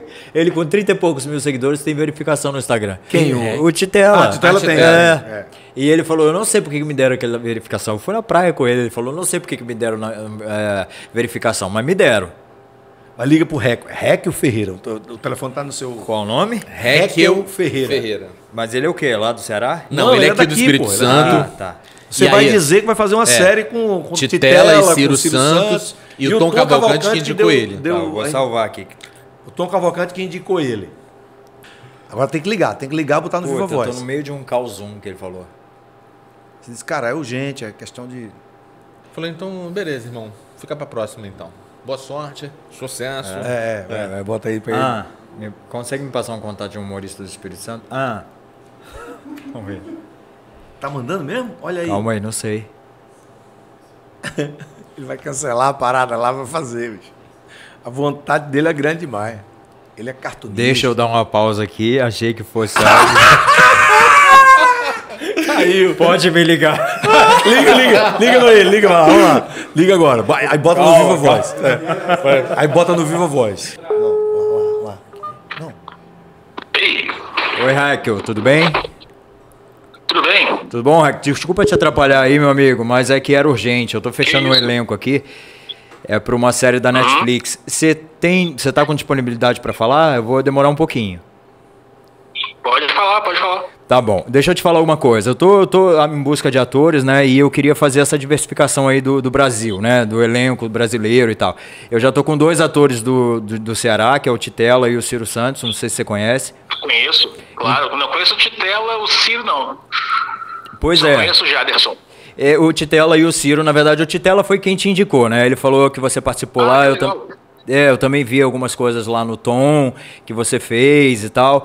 E aí essa série, ela vai falar sobre isso, humoristas brasileiros que fazem a diferença aqui no, no Brasil. E aí eu queria saber de você, se eu dei uma olhada lá no, no teu portfólio, dei uma olhada lá no seu Instagram, no material, mas você tem alguma coisa que você consiga me mostrar, que você tenha fala, que você consiga falar, é, uma dramaturgia bacana, com um texto legal, você tem algum, você tem como me enviar isso? Cara, tem algumas imagens ah, de teatro, é, de sketches, né, do teatro, enfim. Tem algumas ações que eu fiz de publicidade é, com personagem mesmo, que, que eu tive que montar pra marca. Deixa eu ver o que, que eu tenho mais pra você, cara. É, porque na verdade a gente está falando de audiovisual, né? Se você mandar teatro, de repente é algo com, ge- com gestual, e aí eu acho que não funciona. Aham. Sim, sim. Não, só pra, ter- só pra você ter uma ideia. É, é porque no tom realmente eu quase não tinha fala. Pois é, eu vi lá. Então, apesar de ter sido um dos. ah, eu colaborava com o roteiro de lá, né? Então, Uhum. mas eu, eu mesmo não tinha fala. É, deixa eu ver. Eu, eu posso preparar um material pra você, cara. Eu tenho alguma coisa aqui pra te mostrar. Você tem? Então, é porque aí sim, é, você vai no texto que você quiser, no texto que for mais acessível para você, bacana para você falar, mas sempre na pegada do humor. Se você Uhum, se você interesse, Tá? Você consegue Tá, mas me dar. fala o que ma- você precisa, porque aí eu separo pra você, porque aqui eu tenho vários vídeos de várias ações, né, enfim, tanto de show de comédia, quanto de sketch teatral que eu te falei, Bacana. tem também Então, dentro ações desses- publicitárias que eu fiz aqui, então tem umas coisas diversificadas. E, a- e a publicidade você faz com humor, né? Dentro. Uhum, dentro sim. Tá. Mas é, os vídeos você conseguiria me fazer alguma coisa assim, muito rapidinho, me mandar, de comédia, de humor rápido, sagaz, com piadas. se eu te pedir uma piada agora, Ah, preciso separar aqui, de ver, eu preciso ver o que eu tenho aqui pra te mostrar. Tá bom. Porque tem muita coisa que é mais que é mais corporal, né? Tem com trilha com trilha de fundo. é, tem umas coisas que são mais, enfim, a pessoa tem que assistir para entender. Não é uma coisa tão exemplo TikTok que a pessoa dança e já acha engraçado. É, então tem umas coisas que eu preciso separar para te mandar. Mas eu tenho sim, tem material aqui. Tá bom. Agora eu vou te pedir um, um favor, assim, porque eu tô com um produtor aqui do meu lado e, na verdade, ele não tá meio, sei lá, não sei, acho que ele queria ver algo mais seu. Você tem como me contar uma piada de prontidão? Cara, é horrível fazer isso. Eu tenho vídeo de stand-up no, no, no YouTube, porque contar piada de prontidão assim é horrível. É igual contar piada sem plateia. É muito ruim. Porque você não tá vendo a minha expressão facial, você não tá vendo nada. Pô, cara, mas assim, ele tá aqui me pedindo. Eu não, eu não sei o que, que eu faço. Ele quer que quer uma piada. Você não tem algo rápido assim que você consiga fazer? Não funciona. Cara, Carlos, desculpa, não funciona, cara. Eu te mando o link, de Não. verdade, mas não funciona. Entendi, tá bom, Henrique. É porque ele queria ouvir, né? Na verdade, ele queria sentir como é que é a sua pegada, seu tempo de comédia. Ele Entendi. queria, ele queria sacar isso. ele. Mas Alô? você tem. Oi, Henrique, você tá me ouvindo? Oi, perdão, tava me ligando aqui. É que ele Mas queria eu sacar teu que- tempo de comédia, porque ele queria algo bem diferente, né? Ele que- não queria algo que já tem na Netflix, algo muito igual a todo mundo, não. Por isso que você não tem nada que você consiga fazer de prontidão, só pra ele ouvir aqui, eu botei no Viva Não, Voz. então, exatamente. O diferente vai ser que eu vou te mandar. é, é, vou te mandar pelo WhatsApp aqui. Tá. Porque na verdade é completamente diferente eu te mandar um vídeo e fazer uma piada aqui no seco pra você. Porque é, lá eu sei que funciona, tanto que me contrataram. Aqui pra você, sabe, eu posso fazer de um jeito que não vai ser legal porque eu tô por telefone. Não, entendi, WhatsApp. Reco. Não, não, perfeito, perfeito. coisas. Não, perfeito, perfeito. Talvez ele é produ- produtor, né? E ele tá aqui do meu lado realmente me pedindo. Deixa eu te perguntar uma coisa. Você conhece algum outro humorista que você indica aí do Espírito Santo? claro, Espírito Santo tem, tem o Tonho dos Coros. Ah, é? Tonho dos Coros. Você, você conhece, produtor? Pera aí, vou passar pro meu produtor aqui.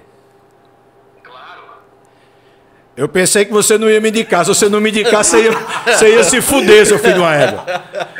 E você achou que eu não sabia que era você. Ah, não sabia não! Você não sabia não, Fábio, não sabia, Fábio? Sabia não, sabia não. O cara passou até o currículo. Lucine Macedo, você acha, você acha que eu ia fazer uma piada por telefone? Te-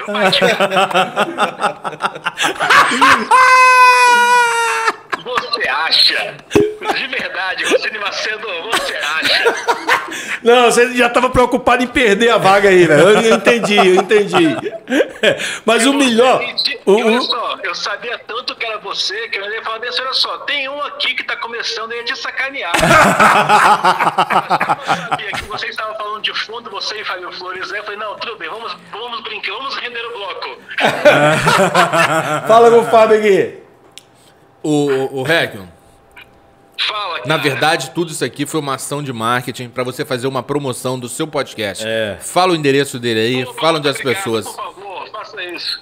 Diz aí. É, acessem aí, pessoal, aquele cara podcast no YouTube, pelo amor de Deus, porque tem só eu e minha mãe acessando. Pô, se você tivesse contado essa Pronto, piada já aqui, você ganhava o piada, carro. exatamente. Olha aí, Já a ia piada ganhar o até- papel, Até que é. apareceu. Já ia ganhar um papel. Valeu então, cara. Sucesso aí. Uma piada com o Fábio. Diga. Fábio, vou fazer a piada do, do, como é que é, do aeroporto com gestos. Por telefone é ótimo. Um clássico do humor no Espírito Santo. Valeu. Mas o melhor, Gente, o melhor foi você confessar pro Carlos Veranai, que está aqui dando entrevista pra gente, que você não tinha fala dos programas do Tony, que ela foi o melhor. Foi, ali foi o terror da humildade, cara. daí- Não, mas Que eu também é fiz, eu também fiz o curral e eu não tinha fala, eu ficava puto, eu digo, só vou fazer essa vez, eu não vou mais não.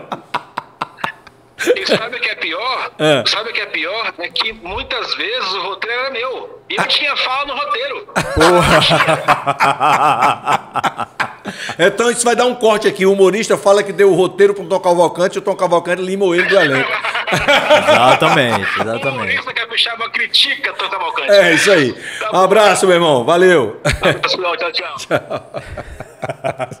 Desliguei. Tá Cara, aí, ó, grande criação de um roteiro, ele envolveu o cara. Ele falou, ah, eu já sabia, eu sabia o cara. Cabia porra nenhuma, O sabia cara, nada, o cara parou uma reunião nada. pra poder. É, ele parou o calcento. sabia porra nenhuma. Você foi bem pra caramba, bicho. Pô, É ator, é né, velho? É outro nível. Sensacional, né? É outro nível, velho. Pô, isso é novo pra mim, vou pra essa área agora. Carlos, a gente tá muito feliz, cara, que você, você esteja aqui. Tem, tem mais pergunta aí, Monique? Tem, não? Monique, tem, mais, tem mais alguma coisa a- ou não? Aquela pergunta de lascar agora. Ah, então a pergunta vai ser minha, então. Então vai, Monique, vai lá, vamos lá.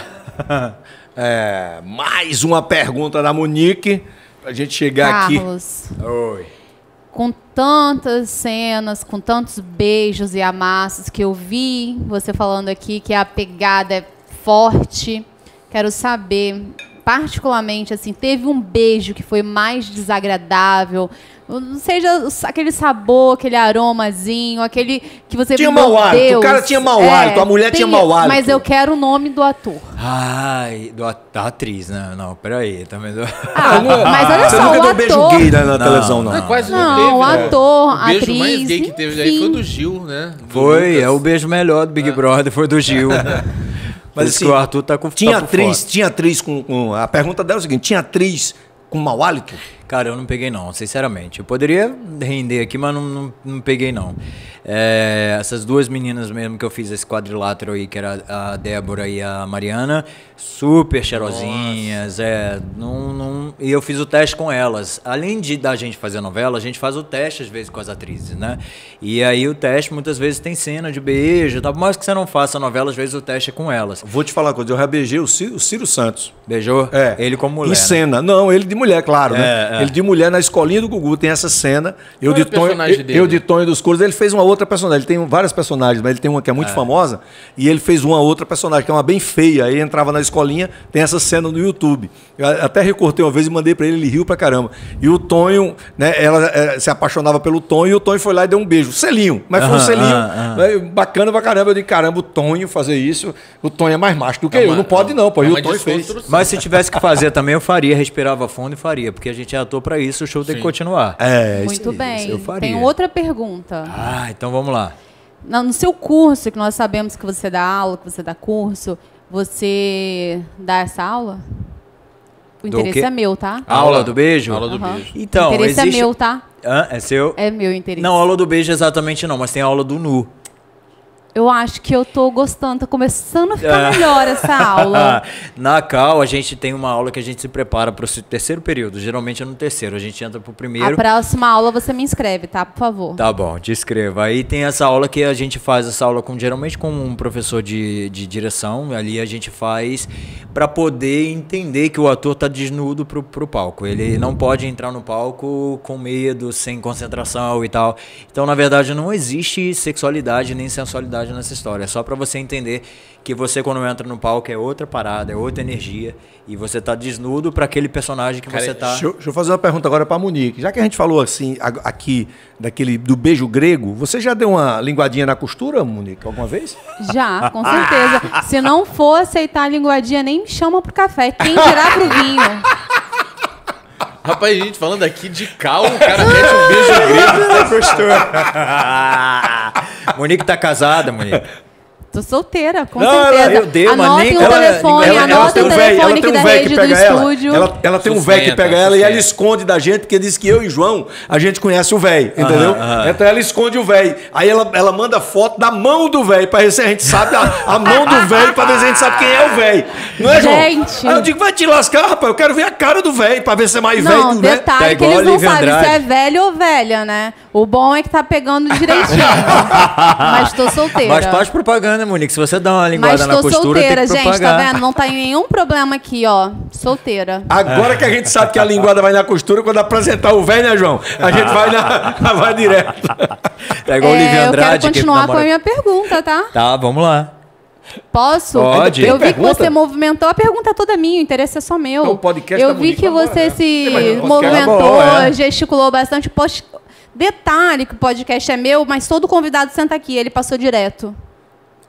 É, eu vi que tem uma aliança, eu quero saber dela. Ai, meu Deus do céu. Essa aliança foi agora há pouco com...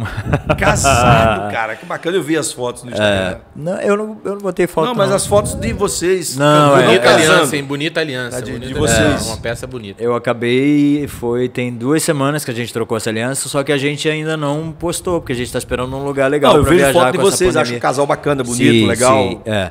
Então, é o que eu te falei. Eu, eu, eu tenho essa questão do, do- de no início a gente não poder falar que a gente era homossexual, mas agora eu caguei, porque eu vivo, eu pago minhas contas, ninguém paga minha conta.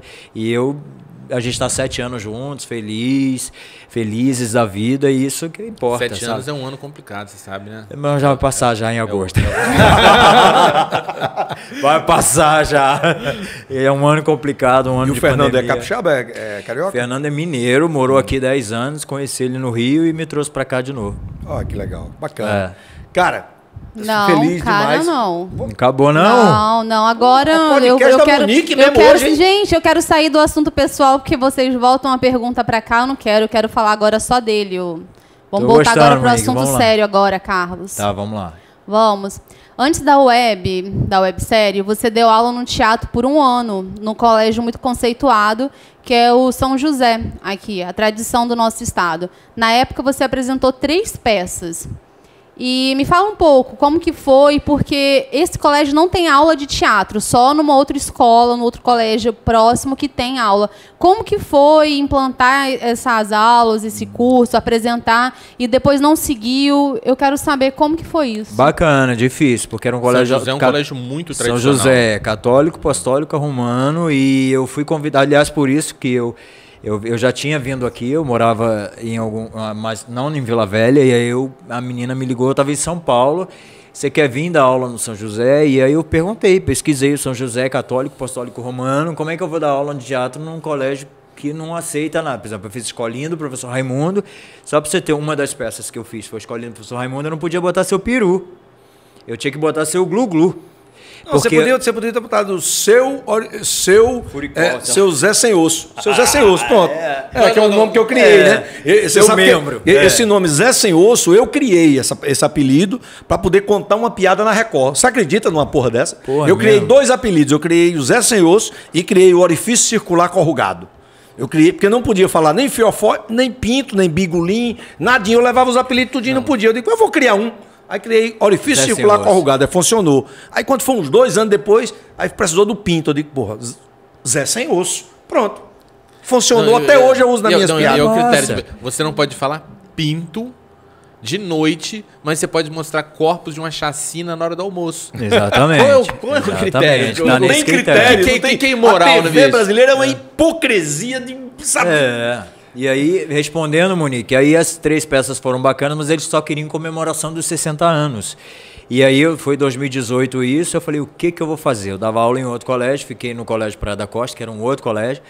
E em 2019 eu fiz a série. E aí eu fui, fui indo, falei, não, vou continuar aqui, hoje eu apresento um programa na Rede TV. Como que você sentiu? Como que foi esse um ano lá na escola? Você sentiu que isso poderia voltar com o tempo? Ah, senti, Como viu? que foi? Porque os pais, eu, eu, eu dou aula de teatro para criança e eu sempre falo que independente se a criança quiser seguir ou não a carreira, é, um, é, uma, é uma sociabilização muito diferente. Deixa eu te Você perguntar, fica qual o pronto- benefício do teatro para criança? Você fica pronto para a vida, você tem opinião formada, mais formada do que, enfim, você tira a sua timidez, você tá mais, mais pronto para a vida, porque você tira ali qualquer amarra que você possa ter dentro da sua criação de casa. Ah, eu, eu, acho, eu acho que o fato principal é a timidez, porque toda, a maioria das crianças dessa geração são tímidas demais e o teatro ajuda muito a tirar essa timidez. Cara, eu, eu, eu tinha uma dificuldade muito grande, assim, eu, eu, eu não fazia pergunta pro professor com vergonha de Isso. levantar o dedo para falar. Eu faço Foi fazendo teatro que eu peguei assim, eu construí um personagem para mim mesmo. E tal. E aí eu me via com segurança para perguntar, para poder apresentar um trabalho, quando tinha que apresentar os trabalhos das matérias. E eu dou aula para No quem, teatro pra quem tá muito. querendo virar influenciador digital também, mídia digital. Às vezes não consegue botar a câmera aqui e falar naturalmente. E é exatamente isso. É você no início começar a criar um personagem e depois aquele personagem virar você Sim. mesmo. Entendeu? Depois aquele personagem virar você mesmo. Mas o principal é tirar a timidez da criança e você começar a ter uma opinião formada. O teatro, ele é um benefício para qualquer pessoa, mas para criança mais ainda, porque a criança já cresce sabendo o que ela quer e mais mais Teatro na terceira idade também é um negócio também. muito legal, muito legal. Mas aí são outros benefícios. É, sim, já é um. É, nesse final aqui, no oferecimento do Café Cafuso, no oferecimento do Café Cafuso, Vamos, vamos lá. no oferecimento do Café Cafuso, cara tirou a marca na hora que eu ia falar do Café Cafuso. a gente que eu queria fazer uma pergunta para você, para a gente poder chegar nessa parte final, que na realidade são duas perguntas. O que é que te faz feliz e o que te deixa triste? Vou até beber água aqui. O que me faz feliz é continuar trabalhando.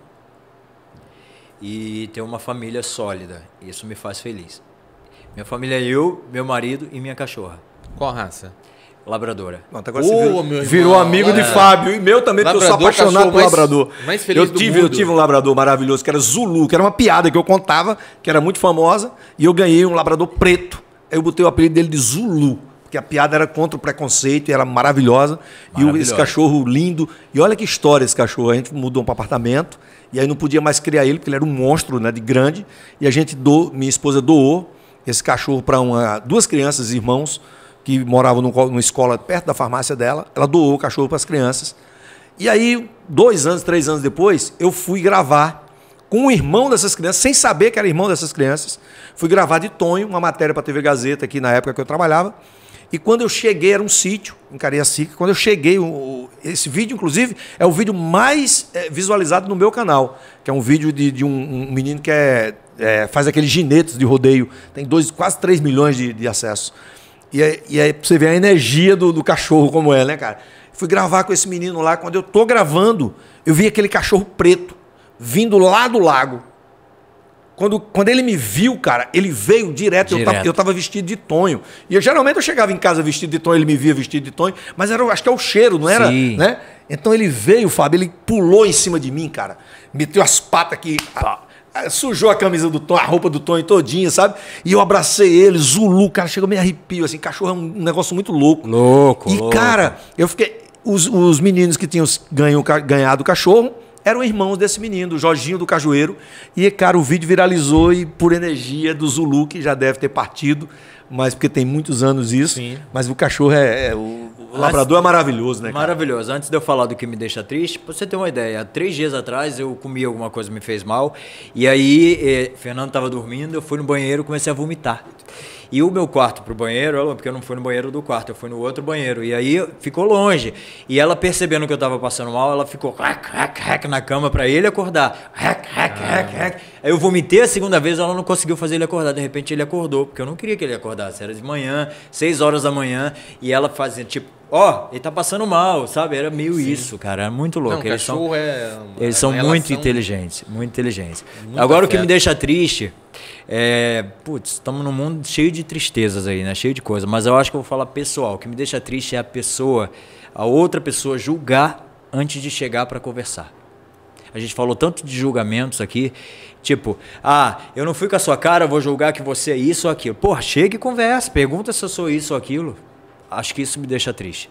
É mais fácil, né, cara? Você vê que alguém falou de você sem ter embasamento, sem ter nada, por mais que a gente esteja propenso a isso, por ser artista. Não sei por que, que as pessoas ainda são assim, né? Porque as pessoas que assistiram, por exemplo, o Big Brother, perceberam que ganhou quem foi verdade. É. Quem falou a verdade, quem nunca falou nas costas dos outros, né? Quem sempre falou na frente, quem sempre tirou satisfação quando achava que a coisa estava Exatamente, errada. A, a exatamente. Juliette, ela ia lá e perguntava, olha, você falou isso de mim? Então vamos conversar aqui, senta aqui. e tal." Exatamente, é isso aí. ganhou isso, ganhou o amor, cara. Ganhou a- até o Gil, que era maravilhoso. Assim, eu, era- eu- sou apaixonado pelo Gil. Também, né? Também. o Gil, pra mim, é um dos maiores personagens de todos Também. os Big Brothers.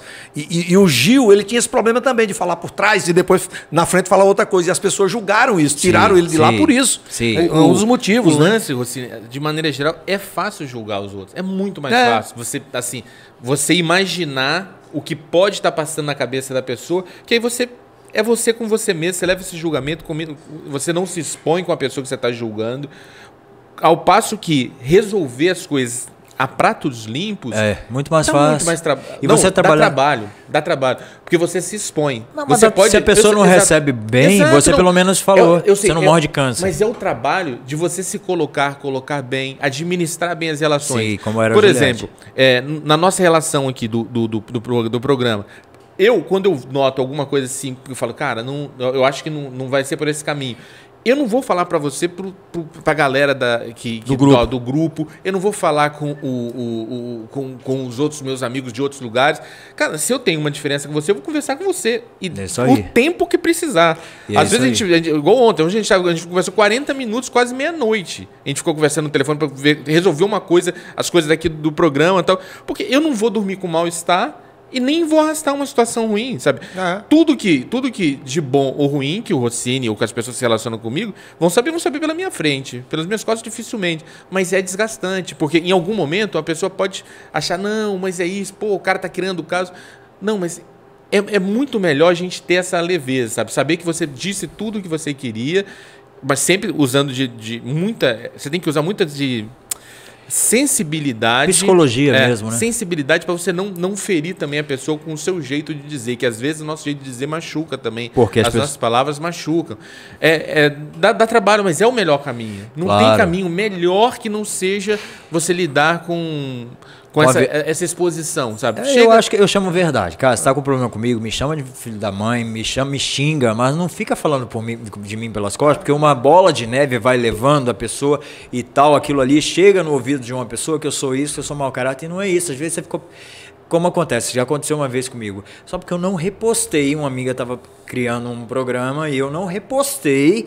Porque, ah, então não é minha amiga. Aí foi levando, não, ele é falso, ele é mal isso, ele é mal. Aí chega no ouvido do outro que é mau caráter. Aí é foda, né? Porque você não repostou, porque você tá ali fazendo mil coisas, esqueceu de repostar o A pessoa programa às da vezes não amiga. sabe o que é que tá acontecendo na tua vida, É, né, irmão? Você tá do outro lado fazendo uma coisa. E aí Cara, eu, eu fogo no parquinho. Eu fiquei muito chateado com o Gil saído no, no quarto lugar, porque o cara se mostrou. eu também botou- achei que o Gil devia ir pra, pra Botou final, a cara né? lá, mas aí eu também me deixa triste a polarização que o Brasil se encontra hoje. Porque o fora Gil que os administradores da Juliette fez foi muito Também achei errado. baixo Também achei nível. errado, também achei então, errado. fora Gil Mas não foi fizeram- a Juliette, foram, foram os administradores. Eu sou né? só ela, eu botava cactos em todos eles. Cactus, né? Que é, que é o. Eu botava cactus Um milhão em e meio, eles e né, assumia a conta, porque eles são Os caras que estão administrando ali, eles pensaram em um Verdade, milhão e é meio verdade. só. Também- Também não concordei bicho, com ela isso, ia não. ganhar, ele só ia querer De qualquer forma, ela lugar. ganharia com ele, sem ele, de qualquer forma ela ganharia. Então, assim, isso é Mas baixa, o, viu? Tem um, acho... tem um negócio que você falou aí que, que é muito verdade, assim, que é, é surpreendente, dessa coisa da bola de neve. Uma coisinha que você deixa de falar, É, ou que é fala atravessado, é.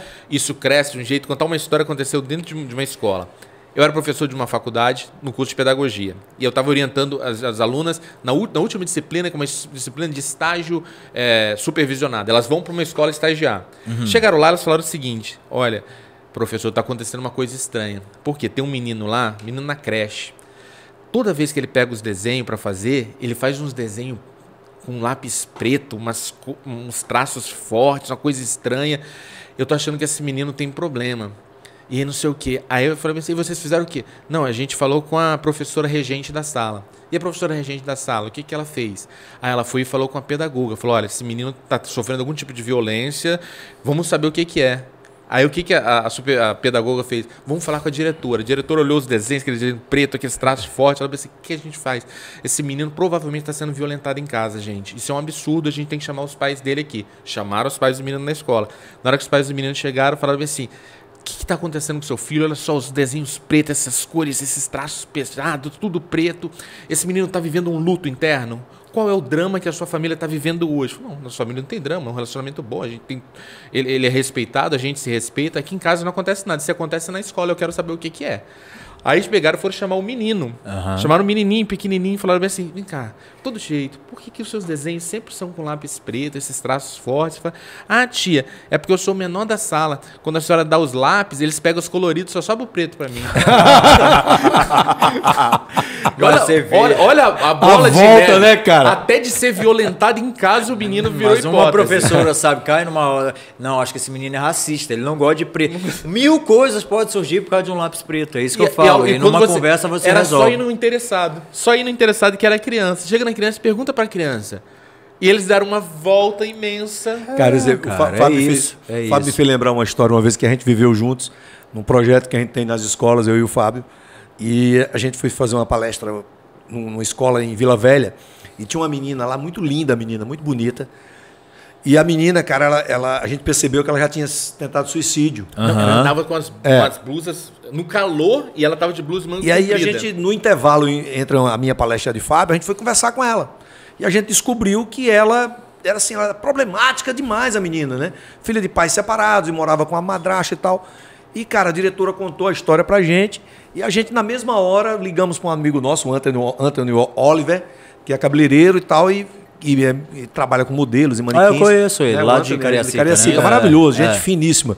E o Anthony deu a maior força, não, vou, fa- vou fazer ela, aqui, trazer ela aqui, vou fazer o cabelo dela, fazer umas fotos, fazer um, né, fazer um trabalho com ela para. Rapaz, a menina ficou assim, mudou a vida da menina. A madrasta da menina me ligou uma semana depois agradecendo e tal, essa coisa toda. Às vezes é só uma oportunidade.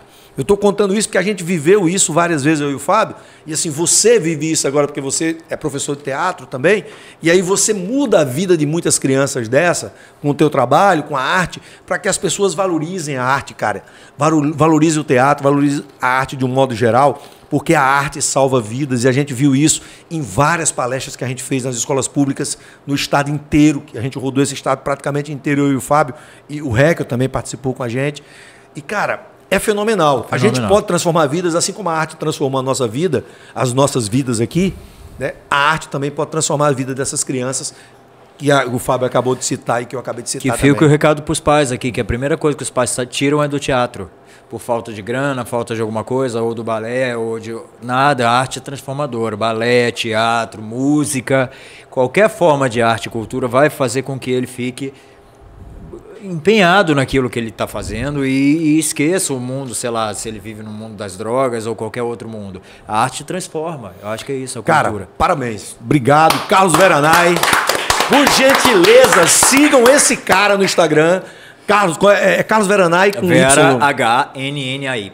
Veranai. Então, sigam esse cara, me sigam, arroba Tonho dos Couros, arroba Rocine Macedo. São dois Instagrams, o Fábio também. Pode me seguir no arroba o Fábio Flores, arroba o Fábio Flores, sempre com grandes questões filosóficas para você começar o dia pensando em questões que vão mudar a sua vida. E você de casa, muito obrigado pela audiência. Você que está assistindo a gente através do YouTube, por gentileza, se inscreva no nosso canal, deixa o seu like, ativa o sininho, que é muito importante para a gente. Deixe também o seu comentário sobre o papo maravilhoso aqui com Carlos Veranai. Seja feliz logo. Nunca esqueça disso. Um abraço. Até mais ver. Feliz Hanukkah.